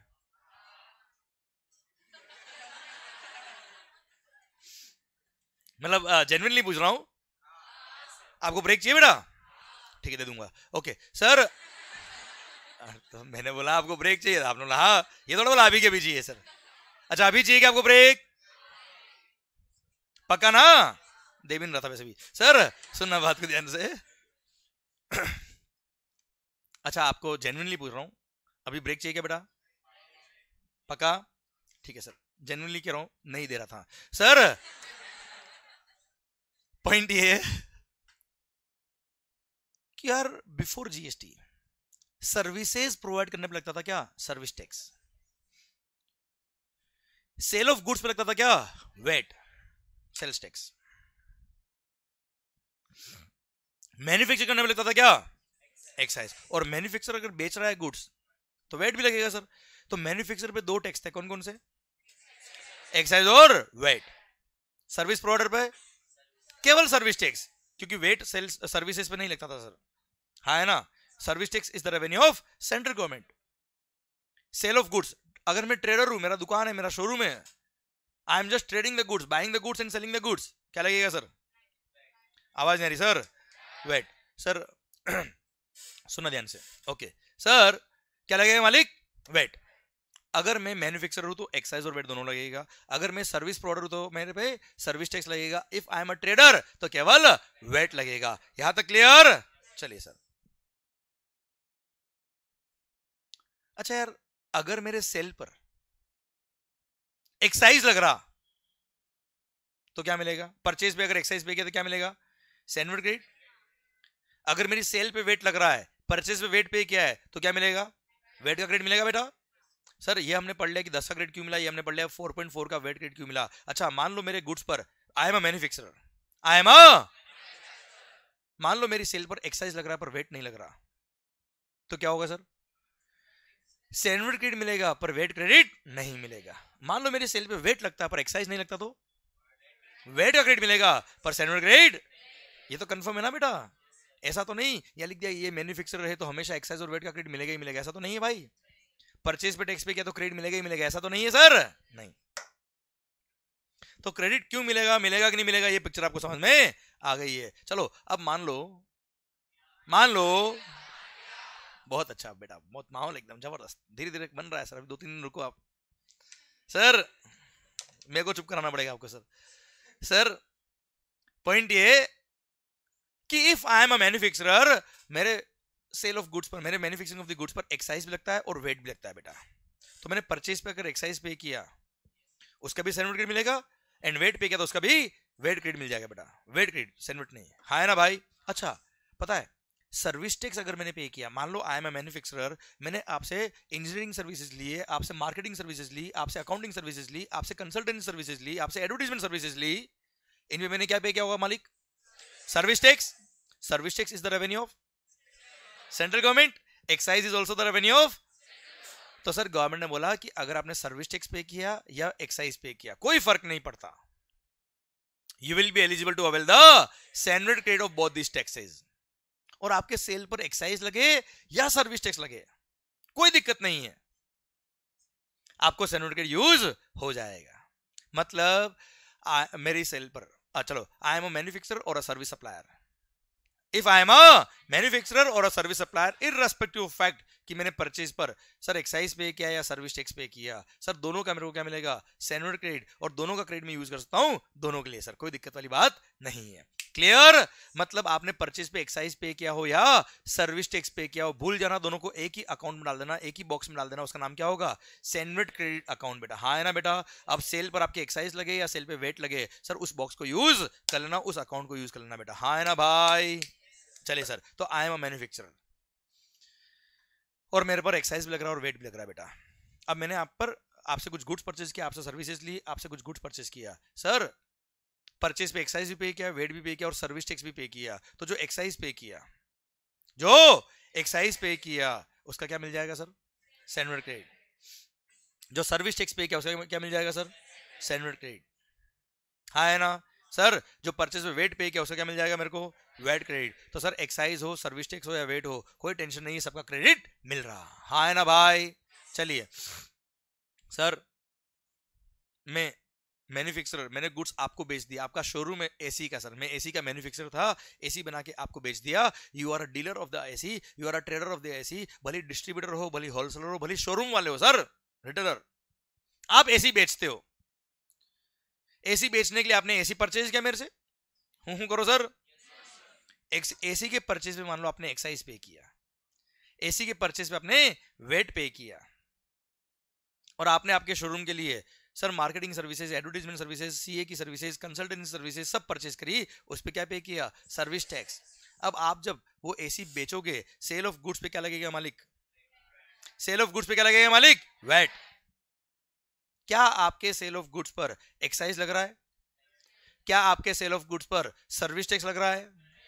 ना सर्विस टैक्स लग रहा, ना एक्साइज लग रहा। सर, आपकी सेल पर केवल वेट लग रहा। तो सर, क्या आपको सेनवेट क्रेडिट ऑफ़ एक्साइज या सर्विस टैक्स मिलेगा सर आवाज़ आ रही, ओए! कोई सेनवेट क्रेडिट नहीं मिलेगा। क्या मिलेगा? वेट का क्रेडिट मिल जाएगा बस आपको बेटा। हाँ है ना बेटा? तो अल्टीमेटली आपने परचेज पे अगर एक्साइज पे किया, अगर आपने परचेज पर सर्विस टैक्स पे किया तो उसका क्रेडिट नहीं मिलेगा तो आपकी कॉस्ट का पार्ट बन जाएगा बेटा। कोई क्रेडिट नहीं मिलेगा। क्लियर अब आप सोचिए सर अगर आप एक शोरूम वाले हो, आपको मैं कंसल्टेंसी सर्विसेज़ दे रहा हूँ बेटा। टेन लेख का मैंने बिल लिखा है मार्केटिंग सर्विसेज़ का कंसल्टेंसी का सर उस पर पंद्रह परसेंट अगर सर्विस टैक्स था fifteen percent was the rate of service tax तो वन लेख फिफ्टी थाउज़ेंड जो मैंने आपसे चार्ज किया यू टेल मी एक रुपए का भी क्रेडिट आपको मिलने वाला है क्या? तो entire one fifty will form part of your cost हाँ है ना? दिल दुखेगा कि नहीं दुखेगा सर दिल दुखेगा कि नहीं दुखेगा सर क्या आपकी सेल पे वेट लग रहा है परचेज पे सर्विस टैक्स पे किया परचेज पे एक्साइज पे किया, एक रुपए का भी क्रेडिट नहीं मिल रहा। ये ट्रेडर्स का दुख था बेटा। अच्छा ट्रेडर्स के लिए केवल ये दुख नहीं था, और भी बहुत सारे दुख थे, सर। ये तो वन ऑफ़ द दुख बताया मैंने, जो मेजर दुख था। सर, आप एक सर्विस सप्लायर हो, मान लो। कौन हो, मालिक? अरे सीए का ऑफ़िस है, सर, आपका कंसल्टेंसी का ऑफ़िस है, मालिक। यू आर अ कंसल्टेंट क्या करते हो? कंसल्टेंसी सर्विसेज़ प्रोवाइड करते हो? सर्विसेज़ प्रोवाइड करने में क्या लगता है, बेटा? हम ये कमर्शियल ट्रेनिंग और कोचिंग सर्विस दे रहे बेटा। क्या लगता है, मालिक, इस पे? सर्विस टैक्स अब सर्विसेज़ प्रोवाइड करने के लिए हमने सर कैमरा परचेज किया, ये आईपैड परचेज किया, ये सिस्टम परचेज किया, ये लाइट्स परचेज करी, ये एसी परचेज किए, सर ये प्रोजेक्टर परचेज किया, इस क्लासरूम में आपको जो दिख रहा है सब परचेज किया हमने। चोरी तो क्या नहीं होगा बेटा। शक्ल देख के क्या देख रहे हो? ओए, सर। सर, अब हमने क्या पे किया बेटा? सर, जब परचेज किया हमने, अगर इस पे एक्साइज पे किया होगा सर, अगर इस पे एक्साइज पे किया होगा तो हमको सर्टिफिकेट मिल जाएगा बेटा। क्योंकि we are service supplier services भी क्या लगेगा बेटा? सर्विस टैक्स पर अगर इसके परचेज में वेट भी पे किया है तो वेट का कोई क्रेडिट हाँ हमने आपसे मार्केटिंग सर्विसेज़ ली कंसल्टेंसी ली बेटा। उस पर सर्विस टैक्स पे किया सर्विस टैक्स का क्रेडिट सर्विस टैक्स मिल जाएगा, कोई दिक्कत नहीं साहब। क्लियर अब आप सोच देखो बेटा। मतलब if I am a service supplier दुख समझना बेटा। इफ़ आई एम अ मेरे को सैंडविच क्रेडिट मिल जाएगा वेट क्रेडिट नहीं मिलेगा। अब अगर इस कैमरा का मेरे को सैंडविच क्रेडिट चाहिए तो मेरे परचेज बिल पे अगर एक्साइज लिखा होगा तो मेरे को उसका क्रेडिट मिल जाएगा। अगर मेरे परचेज बिल पे वेट लिखा होगा क्रेडिट नहीं मिलेगा, दोनों लिखा है तो एक्साइज का मिलेगा वेट का नहीं मिलेगा। बेटा, है ना भाई? अच्छा मतलब मेरे परचेज बिल पे एक्साइज लिखा होना चाहिए बेटा? परचेज बिल पे एक्साइज कौन लिख सकता है बेटा? जो एक्साइज पे करता है एक्साइज कौन पे करता है? मैन्युफैक्चरर तो सर अगर मेरे को इस एक कैमरा का। सेनवेट क्रेडिट लेना है। तो I should buy this camera directly from the manufacturer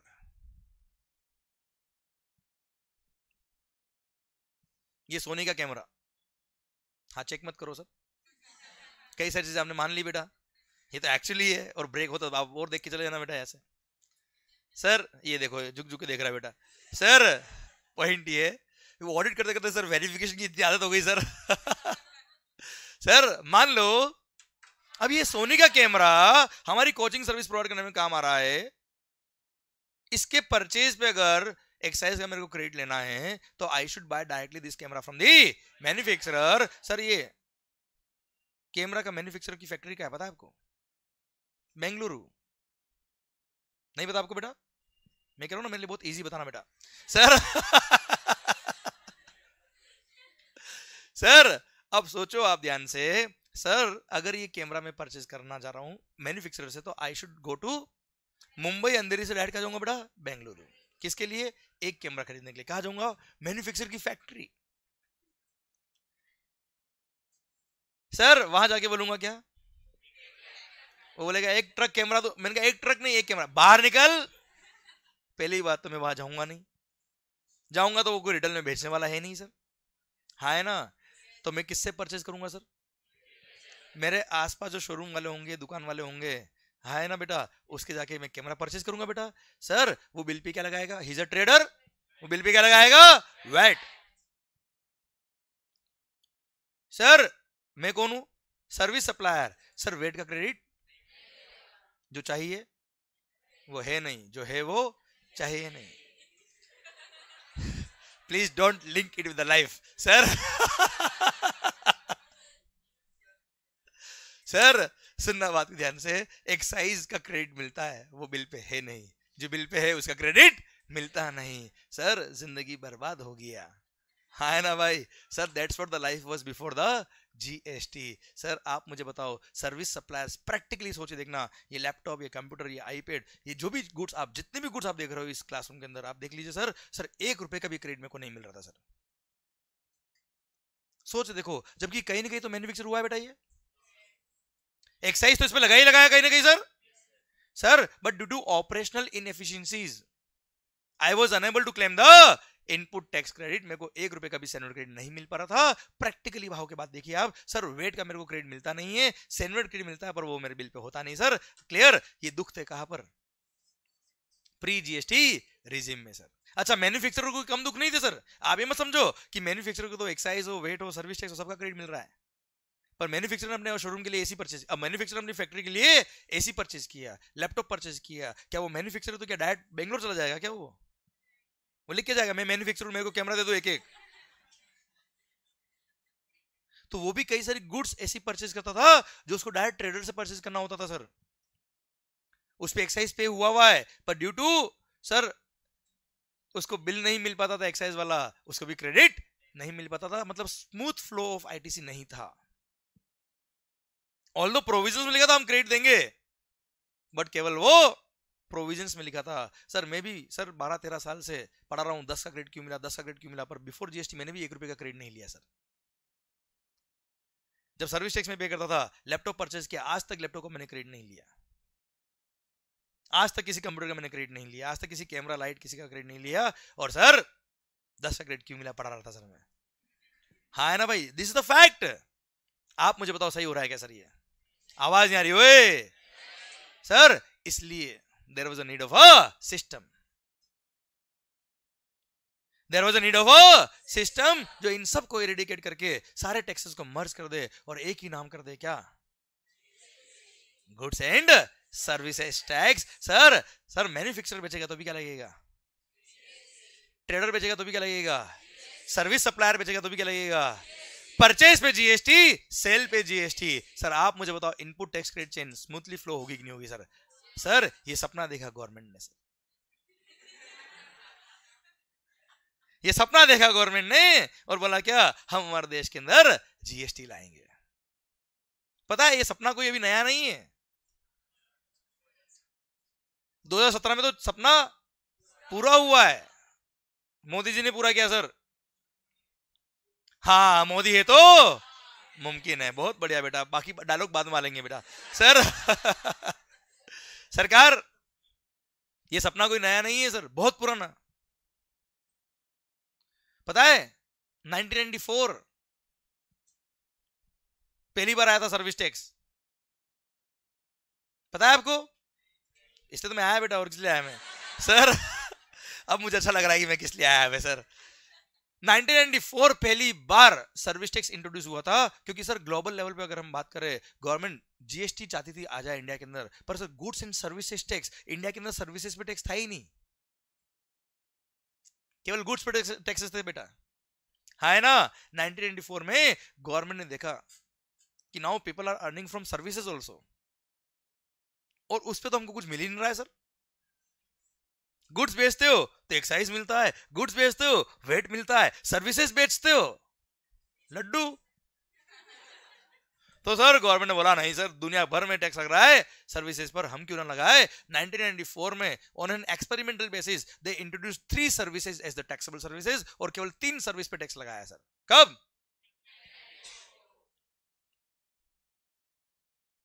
(1994) में, देखना ध्यान से। सर 1994 में जब पहली बार सर्विस टैक्स आया, तब there were only three services जिन पे क्या लगाया बेटा? Service tax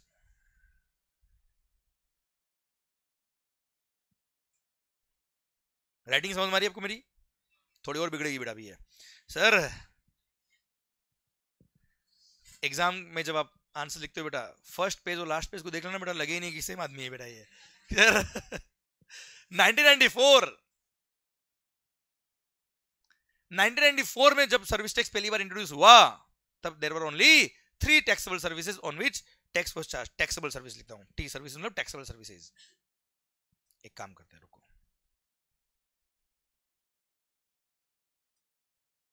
There were only three taxable services जिन पे क्या लगता था, सर? Service tax. पता है? धीरे धीरे गवर्नमेंट हर बजट के अंदर, हर फाइनेंस बिल के अंदर कुछ सर्विसेज़ और ऐड करती गई। और ऐड करते गए, और ऐड करते गए। हर बजट के अंदर कुछ सर्विस आती बेटा। जिस सर्विसेज़ को इंट्रोड्यूस करते हैं इसके अंदर, उस इंडस्ट्री में हंगामा मचाता बेटा। क्लियर फिर एक दो महीने में लोग शांत होते और मानना ही पड़ता बेटा। Clear you won't believe 17 years में till 2011 sir there were one one nine taxable services कितनी सर ये सत्रह साल में लगभग लगभग फोर्टी टाइम्स बढ़ गया सर्विस टैक्स और सर गवर्नमेंट को लगता कि आजकल लोग इससे भी रेवेन्यू अर्न कर रहे हैं ये सर्विस भी नहीं चालू हुई है चलो आ जाओ सर ये भी सर्विस लोग रेवेन्यू अर्न कर रहे हैं आ जाओ साहब क्लियर केवल कुछ सर्विसेज़ ऐसी थी जिन पे टैक्स नहीं लगाना था जैसे स्कूल सर्विस हो गई बेटा। अरे, आप कभी स्कूल गए बेटा? कोई बात नहीं, अच्छे से पढ़ाई करो, अपने बच्चों को ज़रूर भेजना। सर! सर! सर, ये तो ठीक है मेरे स्कूल ही बोला। कॉलेज बोल रहा सर, अभी लोग मारते हैं मेरे को। सर, कॉलेज का नाम तो लो ही मत, ज़िंदगी। बर्बाद हो गया, सर। सुनना बात के ध्यान से। ये जो सीए करने के बाद जो आपको नॉलेज मिलता है ना, सर, ध्यान देना सीए डिग्री ठीक है, अपने आप में एक बहुत बड़ी बहुत मस्त और शानदार डिग्री है, सर। पर सर, ये जो सीए जर्नी सिखाती ना, सर, वो लाइफ में कोई कोर्स नहीं सिखा सकता, सर, आपको। सर डिग्री तो यही है, पर ये जर्नी जो आपको सिखाती है ना, सर, वो लाइफ में कुछ नहीं सिखाता, कोई भी नहीं सिखा सकता, सर, आपको। कोई कितना, सर, लोग एमबीए करते हैं, वहाँ मैनेजमेंट लोग सीखते हैं, आप मैनेजमेंट करते हो। हाँ है ना? सर, आपको सही, मैं मज़ाक नहीं कर रहा हूँ, सर, आप खुद की लाइफ देख ली, सर, अपने आप से। सर, सुबह सात से दस या क्लास ऑफ़िस वालों ने बोल दिया, टेन थर्टी ऑफ़िस पहुँचना ही पहुँचना है, कुछ भी हो जाए। सर तो बहुत सालों ने मैनेजमेंट किया, सर, वहाँ से यार टाइम कैलकुलेट किया। सर, हमको नाइन फोर्टी फाइव निकलना ही पड़ेगा। लेक्चर से पहले सर से मिल लिया सर नाइन फोर्टी फाइव निकलेंगे, आप डांटोगे तो नहीं, सर, आप नाराज़ तो नहीं होंगे? नहीं नाराज़ होंगे, सर क्यों नाराज़ होंगे? ज़िंदगी आपकी, मुझे पता है, कैसी है। क्लियर फिर गए ऑफ़िस ऑफ़िस पहुँचे। सर टेन ट्वेंटी फाइव से बॉस देख रहा टाइम सर, आया कि नहीं आया? जैसे ही टेन थर्टी हुए आप थर्टी टू पे एंटर हुए, बॉस हाफ़ डे लग गया फिर साहब, शाम को अब छह बजे निकल नहीं सकते, सर। क्लियर शाम को आठ नौ तो वही बच गई। फिर सर ने बोल दिया, कोई बात नहीं लैपटॉप लेके जा। तो जो हमारे फ्रेंड्स है कॉलेज फ्रेंड्स है जो दूसरे फ्रेंड्स है, वो बोलते यार भाई, तुम्हारा ऑफ़िस वाला तुमको लैपटॉप भी दिया उनको क्या पता रात भर काम करना और सर ने फर, सर, सुबह लेक्चर है सुबह सात बजे, सर ने, सर फ़र्स्ट कंडीशन की सेम डे पढ़ के भी आना है। क्लियर और सर वापस है सुबह छह बजे से कहानी शुरू हो गई आपकी। है ना तो आप तो मैनेजमेंट कर रहे हो। है ना एमबीए करने वाले तो मैनेजमेंट सीखते हैं।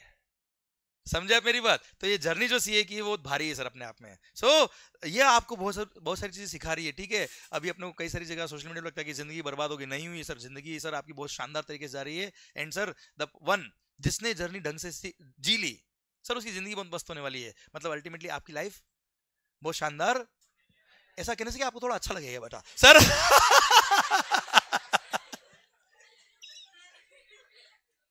और मैं ब्रेक नहीं भी दूँगा तो चल जाएगा, सर। सुनना ध्यान से। पॉइंट ये मेरा आपसे। अब सर पॉइंट ये मेरा आपसे कि 17 इयर्स में लगभग 40 टाइम्स ये टैक्स बढ़ गया सर्विस टैक्स और सर 2012 में तो कमाल हो गया, सर। पता है क्या किया? बोल दिया क्या? All services will be taxable all services will be taxable except those which are covered in negative list negative list based service tax कर दिया बेटा। And all services were made taxable बेटा। क्लियर अब सर क्या हुआ? ये बात बात मैंने आपको क्यों बताई? कि जैसे ही सर्विस टैक्स का एक्सपेरिमेंट सक्सेसफुल हुआ, लोगों ने अडेप्ट कर लिया सर्विस टैक्स को, लोगों ने एक्सेप्ट कर लिया सर्विस टैक्स को, तब गवर्नमेंट ने सपना एग्रेसिवली सोचना शुरू कर दिया कि अब हिंदुस्तान में क्या आना चाहिए बेटा? जीएसटी जब तक सर्विस टैक्स था ही नहीं how they can bring the service tax how they can bring the GST clear? इससे सपना देखा किसका? जीएसटी का। और बोला क्या? सारे टैक्सेस मर्ज कर दो और सिंगल टैक्स रख दो। नाम क्या होगा sir one nation one tax one market नाम क्या होगा? क्लियर अब सर वो सपना। देखो, सपना देखना और सपना पूरा करना। बहुत फ़र्क होता ना, बेटा? सपने तो हम भी कई सारे देखते होंगे सर हाँ है ना? तो सर अब सपना पूरा करने की बात आएगी। तो सपनों के लिए मेहनत करनी पड़ती सर अब सर, जब जीएसटी की बात आई वन नेशन वन टैक्स कर देंगे सर, बहुत जोश में सर। यहाँ तकलीफ़ थी बताए। देखो बच्चों सर्विस टैक्स और एक्साइज तो एक ही था। आप देखो ना सर, कि नाम अलग अलग था। सर्विस टैक्स और एक्साइज बाकी दोनों सेंट्रल गवर्नमेंट के टैक्सेस सर्विस टैक्स पे क्या हो एक्साइज पे क्या हो दोनों का सर्टिफिकेट मिल रहा है बेटा आपको। हाँ है ना? और सर, दोनों का ग्रेड मिलके सर देखना ध्यान से। मंगेश भाई। सर, दोनों का ग्रेड आपको मिल रहा है बेटा? सर्विस टैक्स हो या एक्साइज हो? क्या नाम अलग अलग था, सर? अब ऐसे केस में क्या होगा, मालिक? दोनों टैक्स दोनों टैक्सेस तो एक ही, सर। वहाँ दिक्कत नहीं थी। पर सर जीएसटी के अंदर इनको मर्ज करना था क्या? स्टेट गवर्नमेंट के टैक्सेस भी बेटा। जो भी गुड्स और सर्विसेज़ पे लग रहे थे बेटा। हाँ है ना? अब सर इंडिया के अंदर। इतने स्टेट्स उनके अपने अपने वेट लॉस अपने अपने सर अपने हिसाब से बना रखे सर जैसे आज आप देखो ना देश, अपना इंडिया सर स्टेट्स अपने। यहाँ स्टेट चेंज करो, भाषा चेंज हो जाती सर लैंग्वेज यहाँ स्टेट चेंज करो, लोगों के कपड़े चेंज हो जाएँगे, लोगों की लैंग्वेज चेंज हो जाएगी, लोगों का खाना चेंज हो जाएगा, लोगों के भगवान चेंज हो जाएँगे सर हाँ है ना भाई? और हर स्टेट ने अपने अपने सरकमस्टेंसेस के हिसाब से। हर स्टेट ने अपने अपने सर सिचुएशन सरकमस्टेंसेस अपने अपने रिलीजन के हिसाब से अपने अपने सर कस्टम्स के हिसाब से अपना अपना वेट लो बनाया हुआ था सर हाँ ना भाई? And sir you want to bring the entire India at a single platform by the introduction of GST without the state of India how is it possible how is it possible not possible at all December 2010 बात सुनना। कांग्रेस सरकार मतलब ठीक है, कांग्रेस और BJP को छोड़ो अभी आप। सर हाँ मेरा वो पॉइंट नहीं है sir that is not my topic right now sir 2010 December, government ने बहुत मेहनत करके जीएसटी एक्ट बनाया बेटा। बहुत मेहनत करी बेटा, सिंगापुर वगैरह से कॉपी करके पेस्ट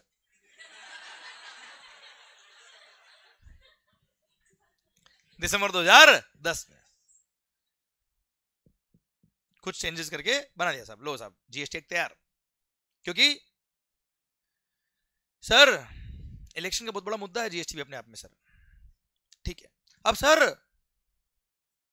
पार्लियामेंट ने सर डिस्कशन के लिए आईसीआई को ऑफिशियल कम्युनिकेशन भेजा सर इसके लिए। दिसंबर 2010 पार्लियामेंट का सेशन चल रहा था। सर इंडिया का पूरा, हिंदुस्तान का पूरा, सर टैक्सेशन सिस्टम चेंज करना है। और आईसीआई को बोला, आप अपने व्यूज़ दीजिए इस टैक्स पे। ये जो हमने एक्ट बनाया इस पे अपने व्यूज़ दीजिए। सर अब अपना डेलीगेशन भेज के रिप्रेजेंटेशन दीजिए पार्लियामेंट के अंदर कि ये एक्ट सही है कि गलत है कि क्या है। पच्चीस मिनट दिया सॉरी हाँ पच्चीस मिनट दिया इसे को। देश का पूरा टैक्सेशन सिस्टम बोलता ना इंडिपेंडेंट इंडिया का सबसे बड़ा इकोनॉमिक रिफॉर्म हो रहा और 25 मिनट आईसीआई को। It was an insult of the ICI और सर इन्फॉर्म कर दिया इन्फॉर्मली कि तुम कुछ भी रिप्रेजेंट कर लो जीएसटी तो आएगा। ना जीएसटी आई, ना कांग्रेस आई। Sir!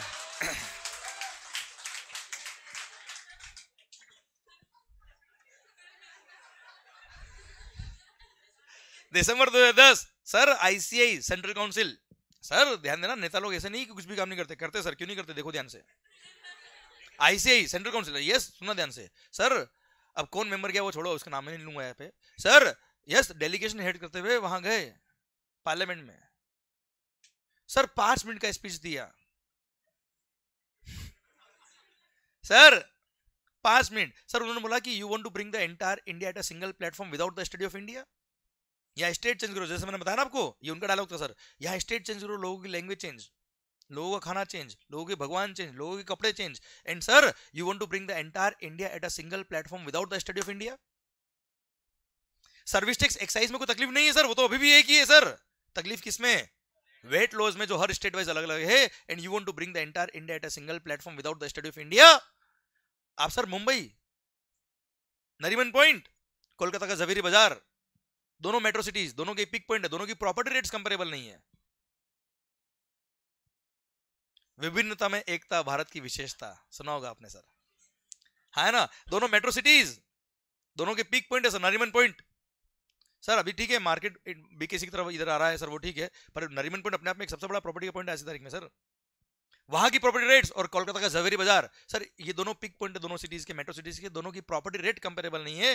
How can you bring the entire India at a single platform without the state of India हम जीएसटी के अगेंस्ट नहीं है, पर कॉपी पेस्ट जिस कंट्री से आप कॉपी करके पेस्ट कर रहे हो साहब, वो तो हमारे किसी स्टेट से भी छोटे हैं, सर। हाँ है ना? Sir every member of parliament भले वो कांग्रेस का हो, भले वो बीजेपी हो, के हो, sir everybody was with the ICI and वही मैटर ड्रॉप हो गया और बोल दिया, ना हो पाएगा। क्लियर और जीएसटी ना हो पाए इनसे, सर। है ना भाई? पप्पू पास नहीं हुआ। सर बात समझ में आई आपको मेरी है अरे हाँ है ना, और वहाँ पे जीएसटी ड्रॉप हो गया and sir you won't believe 2010 December. Clear पर सर उम्मीद नहीं टूटी इनकी कि हाँ आएगा ज़रूर। एक न एक दिन करण अर्जुन आएँगे। मेरे करण अर्जुन आएँगे। क्लियर अब इसकी इसका की कहानी टाइम ऑफ़ सप्लाई जब आएगा ना तो पढ़ाऊँगा मैं आपको। इसका की कहानी कनेक्ट करूँगा मस्त एकदम। सर उसके बाद उन्होंने क्या किया, वो बताऊँगा। टाइम ऑफ़ सप्लाई कैसे आया वो बताऊँगा। सेक्शन कैसे बने, क्यों बने, वो बताऊँगा मैं आपको। दिसंबर 2010 के बाद क्या हुआ था, सर? वहाँ से कनेक्ट हुआ था, सर। सर, अब सुनना बात ध्यान से। तो सर, उस टाइम जीएसटी ना हो पाया। अब सर, जब मोदी जी एक्शन में आए सेंट्रल में जब बीजेपी गवर्नमेंट आई, तब सर इन्होंने सबसे बड़ा मुद्दा जो लिया, बहुत बड़ा, वो लिया किसका? जीएसटी का। गुड्स एंड सर्विसेज़ टैक्स क्योंकि सर इंटरनेशनल मार्केट से बहुत बड़ा प्रेशर था, सर। कि आपके टैक्सेशन लॉज इतने कॉम्प्लेक्स है। कि हम अपना बिज़नेस वहाँ पे कैसे इंट्रोड्यूस करें, कैसे एक्सपांड करें, क्या करें सर अब साहब जीएसटी लाना है। हाँ है ना? अब सर जीएसटी लाना है, सपना पूरा, और मोदी जी ने बोल दिया, सर जीएसटी लाना है मतलब सर बस लाना है, बात खत्म। स्टडी करो, लग जाओ काम पे सर लग गए सब लोग काम पे। Sir one nation one tax अब सर सोचो आप स्टेट गवर्नमेंट के टैक्सेस और सेंट्रल गवर्नमेंट के टैक्सेस अगर दोनों मर्ज कर देंगे जीएसटी अगर बना देंगे परचेज पे जीएसटी सेल पे जीएसटी परचेज पे जीएसटी सेल पे जीएसटी ठीक है भाई, पर रेवेन्यू किसका होगा जीएसटी सेंट्रल को दे देंगे तो स्टेट गवर्नमेंट क्या करेगी बेटा? स्टेट को दे देंगे सेंट्रल क्या करेगी भाई? पैसा दोनों को चाहिए बेटा। हाँ है ना भाई? सर तो क्या करेंगे तो बोला, मिल बांट के खाएँगे। सर, और वहाँ कॉन्सेप्ट आया किसका? डुअल मॉडल जीएसटी का। C GST and S GST fifty percent C G S T fifty percent S GST clear समझा आप मेरी बात तो सर अगर 18 परसेंट टैक्स है तो 9 परसेंट होगा किसका सेंट्रल गवर्नमेंट का 9 परसेंट होगा किसका स्टेट गवर्नमेंट का whatever is the rate of tax divide by two बात खत्म clear on every supply whether it is goods और सर्विसेज़ क्लियर 50 परसेंट होगा सेंट्रल गवर्नमेंट का 50 परसेंट होगा स्टेट गवर्नमेंट का ये बहुत सारे डिस्कशन के बाद कंक्लूजन निकला है साहब ऐसा नहीं निकला सारी स्टेट गवर्नमेंट को साथ में लेके चलना है भले वो कांग्रेस वाले स्टेट हो या बीजेपी वाले हो या कोई और ही हो सर। समझ रहे मेरी बात? तो सारे पढ़े लिखे लोगों ने वेल मिनट वेल एजुकेटेड याद आया बेटा? मिलकर डिसीज़न लिया कि जीएसटी आएगा सी जीएसटी और एस जीएसटी हाँ ना भाई? क्लियर चलिए सर, मैं कहूँ बेटा अभी, बेटा अपन कहा है? रे कुछ सर, अभी हम सर भूल गए सर, हम ज़िंदगी कहा चल रही बस सर जीएसटी सर। अरे मुंबई अंधेरी होए हाँ है ना? महाराष्ट्र में है ना बेटा मुंबई? चलिए सर, मान लो मैं मुंबई, महाराष्ट्र में। आप क्या नाम सर आपका? कुशल। सर, आप भी मुंबई, महाराष्ट्र में मैंने आपको कोई गुड्स बेचा। हाँ है ना? आप भी महाराष्ट्र, में भी महाराष्ट्र। इंट्रास्टेट सप्लाई क्लियर क्या लगेगा? सीजीएसटी और एसजीएसटी सीजीएसटी किसको देंगे सर? एसजीएसटी कौन सी state government Maharashtra state government बेटा? मान लो वन लेक वॉज़ टैक्स तो फिफ्टी थाउज़ेंड हो गया सीजीएसटी फिफ्टी थाउज़ेंड हो गया महाराष्ट्र एसजीएसटी बेटा। हाँ है ना बेटा? क्लियर क्या नाम सर आपका? राहुल जी। राहुल मोदी। सर सर आपका लोकेटेड बेटा? गुजरात बेटा। कहाँ से बेटा? गुजरात से। मैं कहूँ बेटा? मुंबई, महाराष्ट्र। मुंबई से मैंने, महाराष्ट्र से गुड्स मैंने भेजा। कहा? गुजरात। क्या ये? इंटरस्टेट क्या है सर ये? इंटरस्टेट अब क्या लगेगा? ये तो आपने पढ़ा हुआ इसलिए बोल रहे हो। ये तो आपने देखा, इसलिए बोल रहे हो, सर इंटरस्टेट लगता है आईजीएसटी क्यों? सोचो ना ये चीज़ें। मतलब आप सोचो, महाराष्ट्र से महाराष्ट्र में सेल हुआ 50 परसेंट सेंट्रल गवर्नमेंट को 50 परसेंट स्टेट गवर्नमेंट को, चलो कोई तकलीफ़ नहीं है, पर अगर इंटर स्टेट सेल हुआ, किसको रेवेन्यू देंगे साहब? आई जिस्ट लग गया, चलो ठीक है। किसका रेवेन्यू है सर ये? सेंट्रल का? स्टेट का? समझ रहे मेरी बात? बस बस, आगे नहीं चाहिए, मेरे को आंसर नहीं चाहिए। आप प्रॉब्लम समझिए, सर। मेरी बात समझो सॉल्यूशन नहीं चाहिए, सर। सॉल्यूशन अपने आप आएगा। आप पहले तकलीफ़ तो समझो। हम क्या करते हैं? बुक्स उठाते हो डायरेक्ट सॉल्यूशन पढ़ लेते सर। प्रॉब्लम तक तो पहुँचे ही नहीं हम, सर। इसलिए बुक्स याद करने लग जाते हैं हम लोग।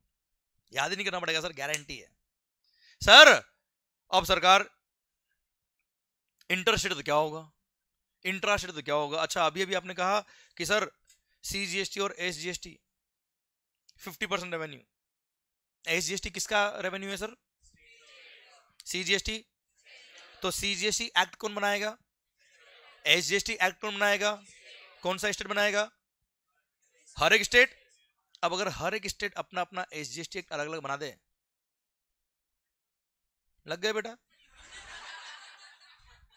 हो गया वन नेशन वन टैक्स सोचो आप ध्यान से।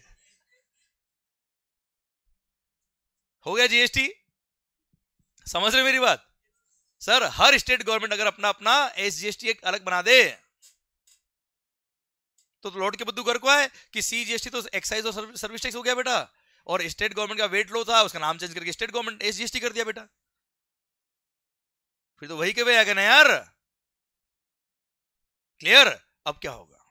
अगर सारे स्टेट के अपने अपने एक्ट अलग होंगे अपने अपने हिसाब से अगर वो एक्ट बना दे, सेंट्रल गवर्नमेंट अगर अपने हिसाब से एक्ट बना दे तो तो सर, क्लियर? अब क्या होगा? कैसे बनेगा? Clear? To be continued after the break माहौल, सर? ओके सर, यहाँ तक पॉइंट समझ में आपको मेरा ये? अरे, क्लियर? दो मिनट, मंगेश भैया। यहाँ तक पॉइंट समझ में आया मेरा आपको ये? अच्छा आपको ब्रेक चाहिए बेटा ब्रेक चाहिए सही में? ओके सर, एक मिनट। ये स्लाइड जो मैंने कॉपी करी है आ, जो लिखी है।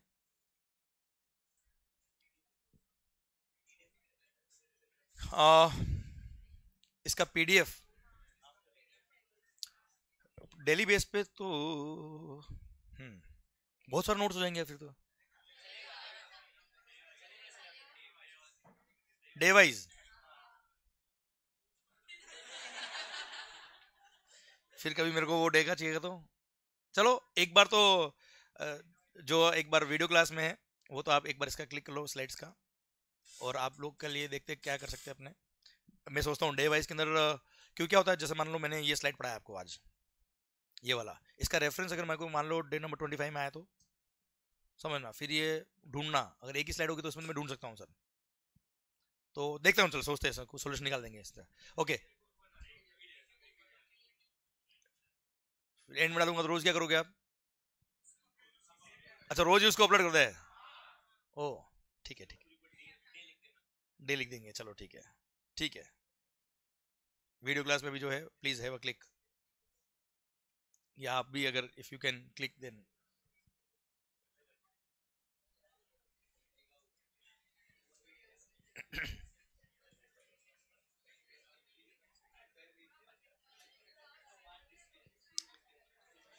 अच्छा समझ में आया आपको पॉइंट पक्का? गुड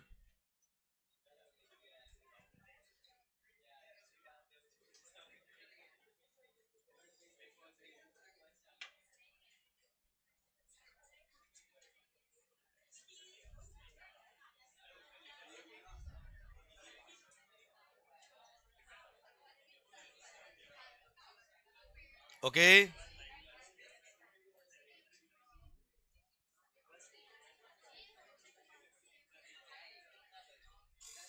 ओके डन चलिए सरकार मिलते हैं ब्रेक के बाद माहौल।